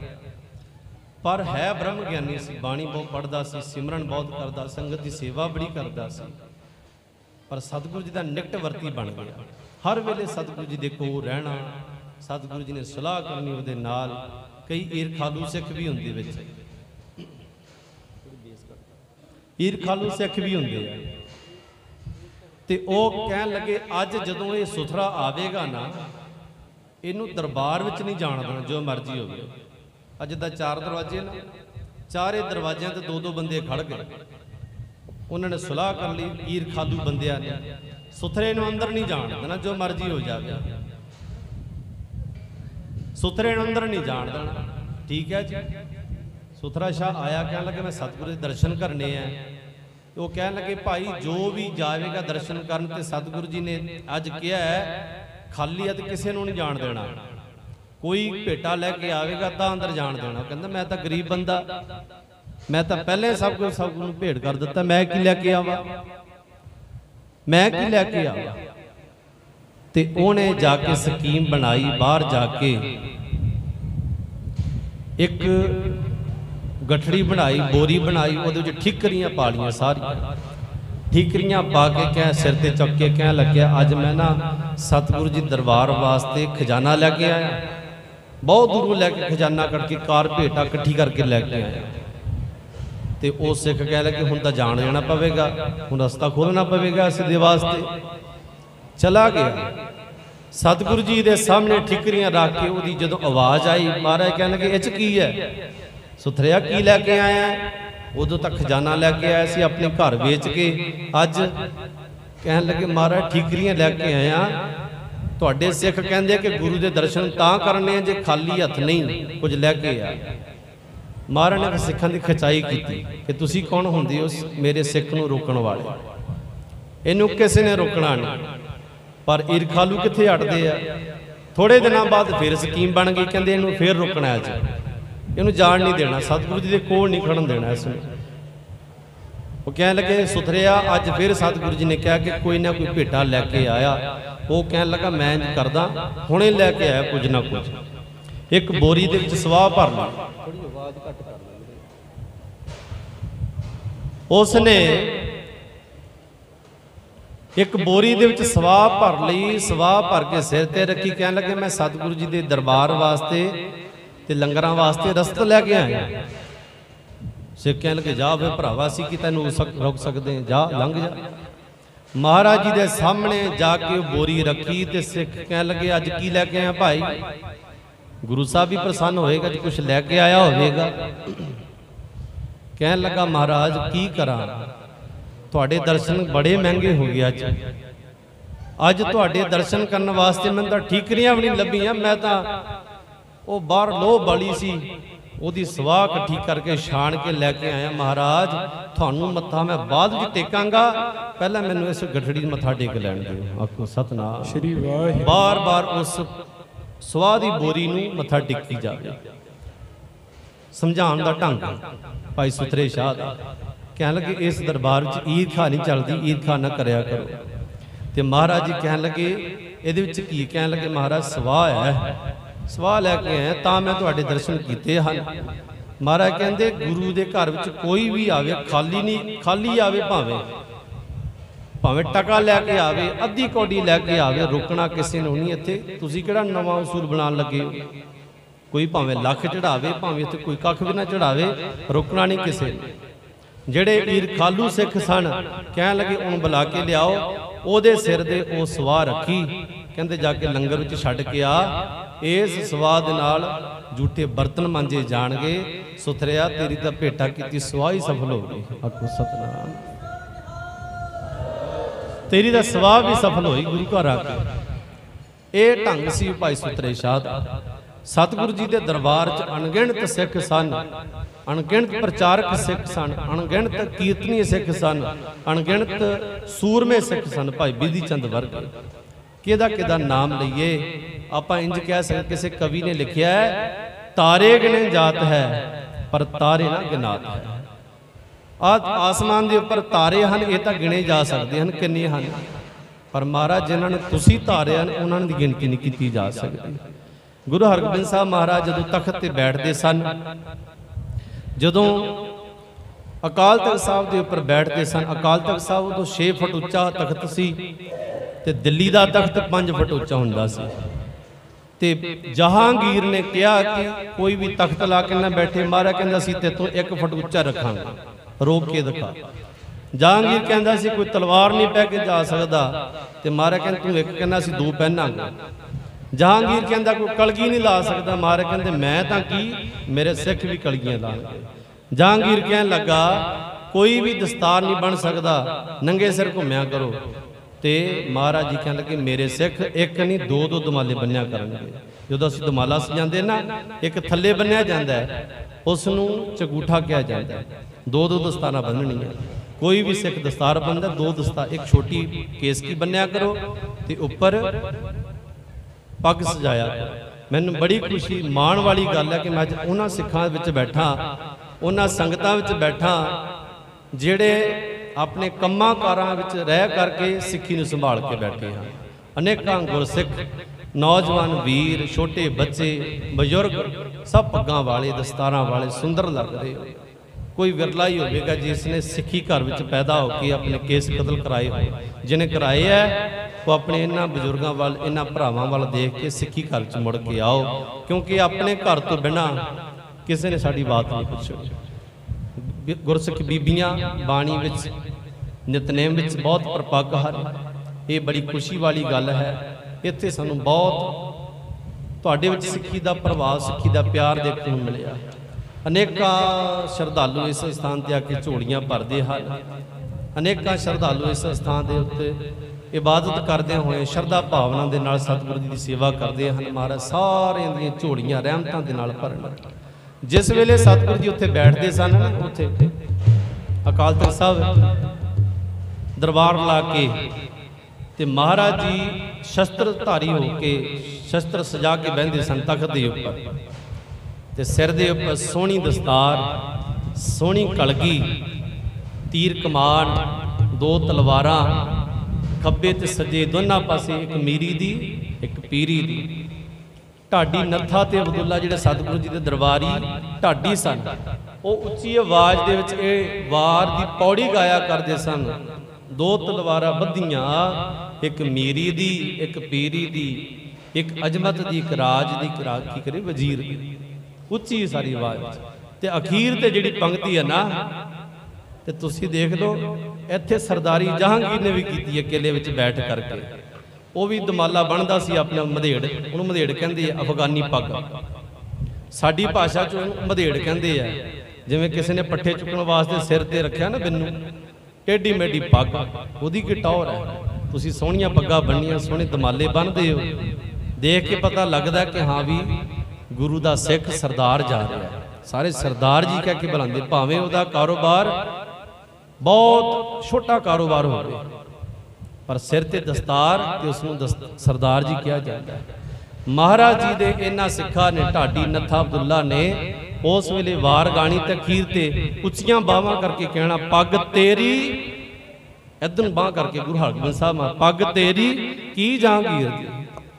ਜਹਾਂਗੀਰ ਦੀ ਪੱਗ ਕੀ ਤੁਹਾਡੇ ਮੁਕਾਬਲੇ? ਮਹਾਰਾਜ, ਤੁਸੀਂ ਤਾਂ ਦਮਾਲਾ ਬੜਾ ਸੋਹਣਾ ਸਜਾਇਆ ਤੁਹਾਡੇ ਦਮਾਲੇ ਦੇ ਅੱਗੇ ਜਹਾਂਗੀਰ ਦੀ ਕੀ ਬਰਾਬਰੀ ਜਹਾਂਗੀਰ ਦਾ ਤਖਤ ਤੱਕੀ ਉਹ ਤਾਂ ਮਹਾਰਾਜ ਚਕਨਾ ਚੂਰ ਹੋ ਜਾਵੇਗਾ, ਪਰ ਤੁਹਾਡਾ ਰਾਜ ਸਦਾ ਨਿਹਚ ਰਹੇਗਾ। ਵੱਡਾ ਤੇਰਾ ਦਰਬਾਰ, ਸੱਚਾ ਤੁਧ ਤਖਤ, ਸਿਰ ਸ਼ਾਹਾਂ ਪਾਤਸ਼ਾਹ, ਨਿਹਚਲ ਚੌਰ ਸ਼ਬਦ ਮਹਾਰਾਜ ਜੀ ਦੀ ਇਹ ਸਿਫਤ ਵਿੱਚ ਲਿਖੀ ਦੋ ਪੰਕਤੀਆਂ, ਆਓ ਆਪਾਂ ਸਰਵਣ ਕਰੀਏ। ਢਾਡੀ ਨੱਥਾ ਅਬਦੁੱਲਾ ਨੇ ਜੋ ਇਹ ਪੰਕਤੀਆਂ ਗਾਈਆਂ, ਉਪਰੰਤ ਆਪਾਂ ਖਿਮਾ ਦੇ ਜਾਚਕ ਹੋ ਜਾਣਾ ਬਹੁਤ ਹੀ ਸਤਿਕਾਰਯੋਗ ਪ੍ਰਚਾਰਕ ਵੀਰ ਗਿਆਨੀ ਸਤਨਾਮ ਸਿੰਘ ਜੀ ਜਲੰਧਰ ਵਾਲੇ ਪਹੁੰਚ ਚੁੱਕੇ ਹਨ। ਉਹ ਆਪ ਜੀ ਨੂੰ ਗੁਰਮਤ ਵਿਚਾਰਾਂ ਦੇ ਨਾਲ ਨਿਹਾਲ ਕਰਨਗੇ। ਆਓ ਇਹ ਵਾਰ ਦੀ ਪੌੜੀ ਸਰਵਣ ਕਰੀਏ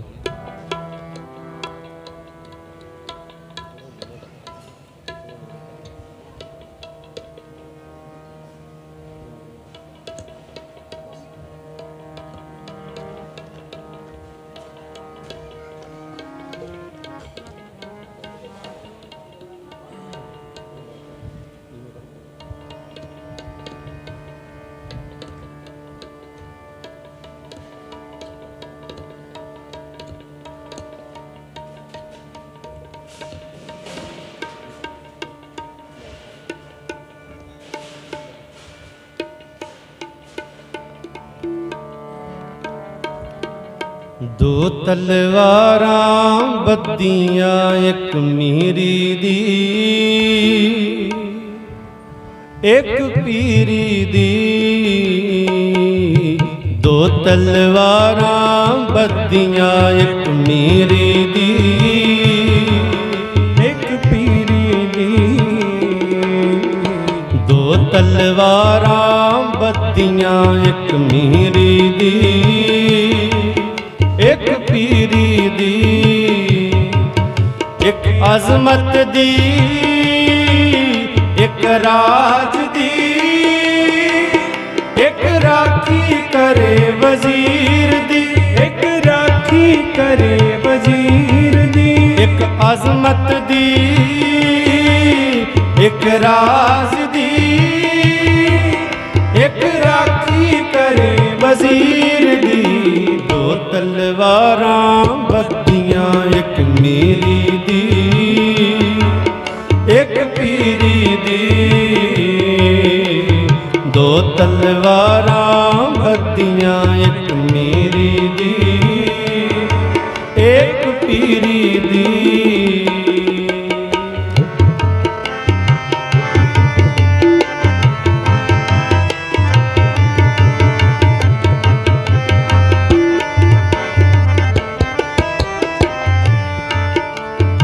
ਹਿੰਮਤ ਬਾਹਾਂ ਕੋਟ ਕਰ ਦਰਵਾਜ਼ਾ ਬਲਖ ਬਖੀਰ ਦੀ। ਹਿੰਮਤ ਬਾਹਾਂ ਕੋਟ ਕਰ ਦਰਵਾਜ਼ਾ ਬਲਖ ਬਕੀਰ ਦੀ। ਦਰਵਾਜ਼ਾ ਬਲਖ ਬਖੀਰ, ਦਰਵਾਜ਼ਾ ਬਲਖ ਬਖੀਰ ਦੀ। ਦੋ ਤਲਵਾਰਾਂ ਬੱਦੀਆਂ ਇੱਕ ਮੇਰੀ ਦੀ। ਦੀ। ਦੋ ਤਲਵਾਰਾਂ ਬੱਦੀਆਂ ਪੀਰੀ ਦੀ। ਇੱਕ ਪੀਰੀ ਦੀ। ਇੱਕ ਅਜ਼ਮਤ ਦੀ। ਇੱਕ ਰਾਜ ਦੀ। ਇੱਕ ਰਾਖੀ ਕਰੇ ਵਜ਼ੀਰ ਦੀ। ਇੱਕ ਰਾਖੀ ਕਰੇ ਵਜ਼ੀਰ ਦੀ। ਅਜ਼ਮਤ ਦੀ।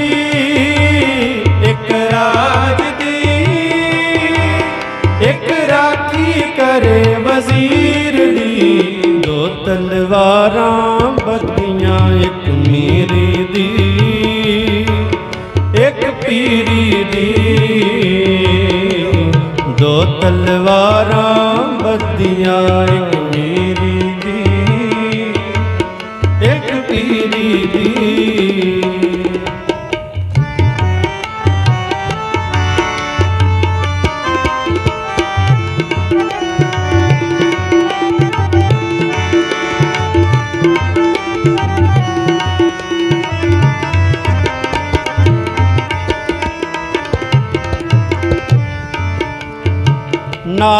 ਸਿਪਾਹੀ ਨੀਲ ਨਾਲ। ਨਾਲ ਸਿਪਾਹੀ ਨੀਲ ਨਾਲ। ਮਾਰ ਦੁਸ਼ਟਾਂ ਕਰੇ ਤਗੀਰ ਦੀ। ਮਾਰ ਦੁਸ਼ਟਾਂ ਕਰੇ ਤਾਗੀਰ ਦੀ। ਪੱਗ ਤੇਰੀ ਕੀ ਜਹਾਂਗੀਰ ਦੀ। ਪੱਗ ਤੇਰੀ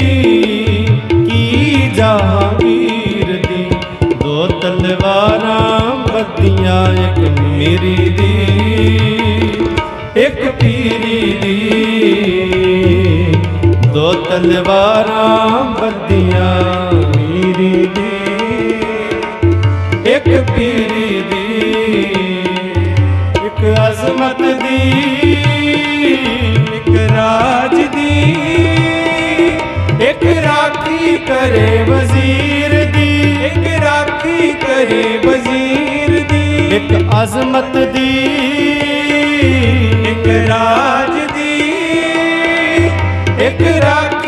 ਕਰੇ ਵਜ਼ੀਰ ਦੀ ਦੋ ਤਲਵਾਰਾਂ ਬੱਦੀਆਂ ਇੱਕ ਮੀਰੀ ਦੀ ਇੱਕ ਪੀਰੀ ਦੀ।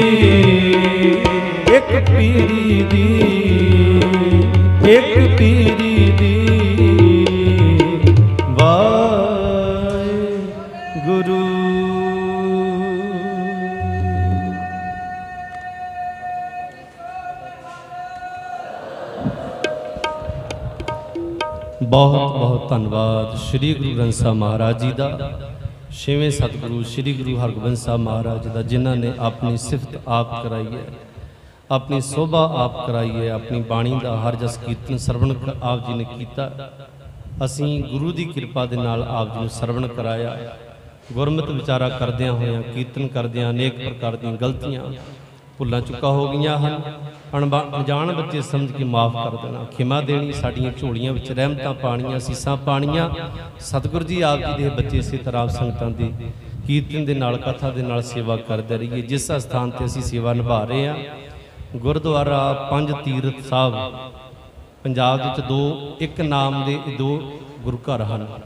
ਇੱਕ ਹੁਸ਼ਿਆਰਪੁਰ ਵਿੱਚ ਹੈ, ਜੰਡੂ ਸਿੰਘਾ ਪਿੰਡ। ਗੁਰਦੁਆਰਾ ਪੰਜ ਤੀਰ ਸਾਹਿਬ ਪਿੰਡ ਲੜੋਆ ਜ਼ਿਲ੍ਹਾ ਨਵਾਂਸ਼ਹਿਰ ਵਿਖੇ ਅਸੀਂ ਗੁਰੂ ਹਰਗੋਬਿੰਦ ਸਾਹਿਬ ਮਹਾਰਾਜ ਦੇ ਦਰਬਾਰ ਵਿੱਚ ਸੇਵਾ ਨਿਭਾ ਰਹੇ ਹਾਂ। ਕਾਫੀ ਸਾਲਾਂ ਤੋਂ ਉੱਥੋਂ ਦੀ ਪ੍ਰਬੰਧਕ ਕਮੇਟੀ ਵੀ ਆਪ ਜੀ ਵਾਂਗੂ ਬਹੁਤ ਪਿਆਰ ਦਿੰਦੀ ਹੈ। ਸਾਨੂੰ ਬੜੇ ਸਤਿਕਾਰ, ਪਿਆਰ ਦੇ ਨਾਲ ਸਾਨੂੰ ਉਹਨਾਂ ਨੇ ਸੇਵਾ ਬਖਸ਼ਿਸ਼ ਕੀਤੀ ਹੈ। ਗੁਰੂ ਸਾਹਿਬ ਜੀ ਦੀ ਆਪ ਸੇਵਾ ਲੈ ਰਹੇ ਹਨ। ਉੱਥੋਂ ਆਪ ਸੰਗਤਾਂ ਦੇ ਚਰਨ ਪਰਸਨ ਵਾਸਤੇ ਆਏ ਹਾਂ। ਪਠਾਨਕੋਟ ਸ਼ੁਕਰ ਸ੍ਰੀ ਗੁਰੂ ਗ੍ਰੰਥ ਸਾਹਿਬ ਮਹਾਰਾਜ ਦਾ ਸਾਰੀ ਸੰਗਤ ਦਾ ਧੰਨਵਾਦ। ਪ੍ਰਬੰਧਕ ਕਮੇਟੀ ਦਾ ਧੰਨਵਾਦ। ਸਤਿਕਾਰਯੋਗ ਪ੍ਰਧਾਨ ਸਾਹਿਬ ਜੀ ਦਾ ਧੰਨਵਾਦ। ਸਾਡੇ ਸਤਿਕਾਰਯੋਗ ਸਰਦਾਰ ਹਰਮੀਤ ਸਿੰਘ ਜੀ, ਸਰਦਾਰ ਤੀਰਥ ਸਿੰਘ ਜੀ, ਕਿਹਨਾਂ ਕਿਹਨਾਂ ਦੇ ਨਾਮ ਲਈਏ, ਇੱਥੋਂ ਦੇ ਹੈੱਡ ਗ੍ਰੰਥੀ ਮੇਰੇ ਵੀਰ ਤਜਿੰਦਰ ਸਿੰਘ ਜੀ, ਜਿਨ੍ਹਾਂ ਦੇ ਨਾਲ ਮੇਰਾ ਬਹੁਤ ਹੀ ਪਿਆਰ, ਪਰਿਵਾਰਕ ਤੌਰ ਤੇ ਹੈ, ਉਹਨਾਂ ਨੇ ਆਪ ਸੰਗਤਾਂ ਦਰਸ਼ਨ ਕਰਾਏ ਹਨ, ਉਹਨਾਂ ਦਾ ਧੰਨਵਾਦ। ਜਿੰਨੀਆਂ ਸੰਗਤਾਂ ਪਹੁੰਚੀਆਂ ਸਾਰੀਆਂ ਸੰਗਤਾਂ ਦੇ ਚਰਨਾਂ ਵਿੱਚ ਸਾਡੇ ਸੀਸ ਹਨ ਤੇ ਆਪਣੇ ਬੱਚਿਆਂ ਨੂੰ ਗੁਰਸਿੱਖੀ ਦੇ ਨਾਲ ਜੋੜੀਏ ਆਪਣੇ ਬੱਚਿਆਂ ਨੂੰ ਗੁਰਸਿੱਖੀ ਦੇ ਵਿੱਚ ਪ੍ਰਪੱਕ ਕਰੀਏ ਬਾਣੀ ਦੇ ਨਾਲ ਜੋੜੀਏ ਸ੍ਰੀ ਗੁਰੂ ਹਰਗੋਬਿੰਦ ਸਾਹਿਬ ਮਹਾਰਾਜ ਦੇ ਇਸ ਪਰਿਵਾਰ ਦੇ ਨਾਲ ਜੋੜੀਏ ਕਿਉਂਕਿ ਇੱਥੋਂ ਆਪ ਜੀ ਨੂੰ ਬਹੁਤ ਪ੍ਰ- ਪ੍ਰਾਪਤ ਹੋਇਆ ਤੁਹਾਡੇ ਬਜ਼ੁਰਗਾਂ ਨੂੰ ਵੀ ਬਹੁਤ ਕੁਝ ਪ੍ਰਾਪਤ ਹੋਇਆ ਅੱਗੋਂ ਬੱਚਿਆਂ ਨੂੰ ਬਹੁਤ ਕੁਝ ਪ੍ਰਾਪਤ ਹੋਵੇਗਾ। ਸਾਨੂੰ ਵੀ ਬੜਾ ਕੁਝ ਪ੍ਰਾਪਤ ਹੋਇਆ ਪਿਛਲੀ ਵਾਰ ਇੱਥੋਂ ਬਹੁਤ ਕੁਝ ਲੈ ਕੇ ਗਏ ਤੇ ਜੋ ਕੁਝ ਮਿਲਿਆ ਹੈ, ਤੇ ਅੱਜ ਸਾਨੂੰ ਤੁਹਾਡੇ ਦਰਸ਼ਨ ਹੋ ਰਹੇ ਹਨ। ਅਸੀਂ ਤੁਹਾਡੇ ਵਿੱਚ ਬੈਠ ਕੇ ਕੀਰਤਨ ਕਰ ਰਹੇ ਹਾਂ। ਇੱਥੋਂ ਦਾ ਪਿਆਰ ਸਾਡੀ ਝੋਲੀ ਵਿੱਚ ਪਾਓ, ਆਪਣੀਆਂ ਅਸੀਸਾਂ ਸਾਡੀ ਝੋਲੀ ਵਿੱਚ ਪਾਓ। ਅਸੀਂ ਵੀ ਇਸੇ ਤਰ੍ਹਾਂ ਪਿਆਰ ਵਿੱਚ ਰਹਿ ਕੇ ਭਾਵਨਾ ਸਹਿਤ ਕੀਰਤਨ ਕਰੀਏ ਤਾਂ ਜੋ ਆਪ ਸੰਗਤਾਂ ਦਾ ਪਿਆਰ ਮਿਲਦਾ ਰਹੇ। ਇਸੇ ਤਰ੍ਹਾਂ ਆਪਾਂ ਸ਼ਾਮ ਦੇ ਦੀਵਾਨ ਵਿੱਚ ਹਾਜ਼ਰੀ ਭਰਾਂਗੇ।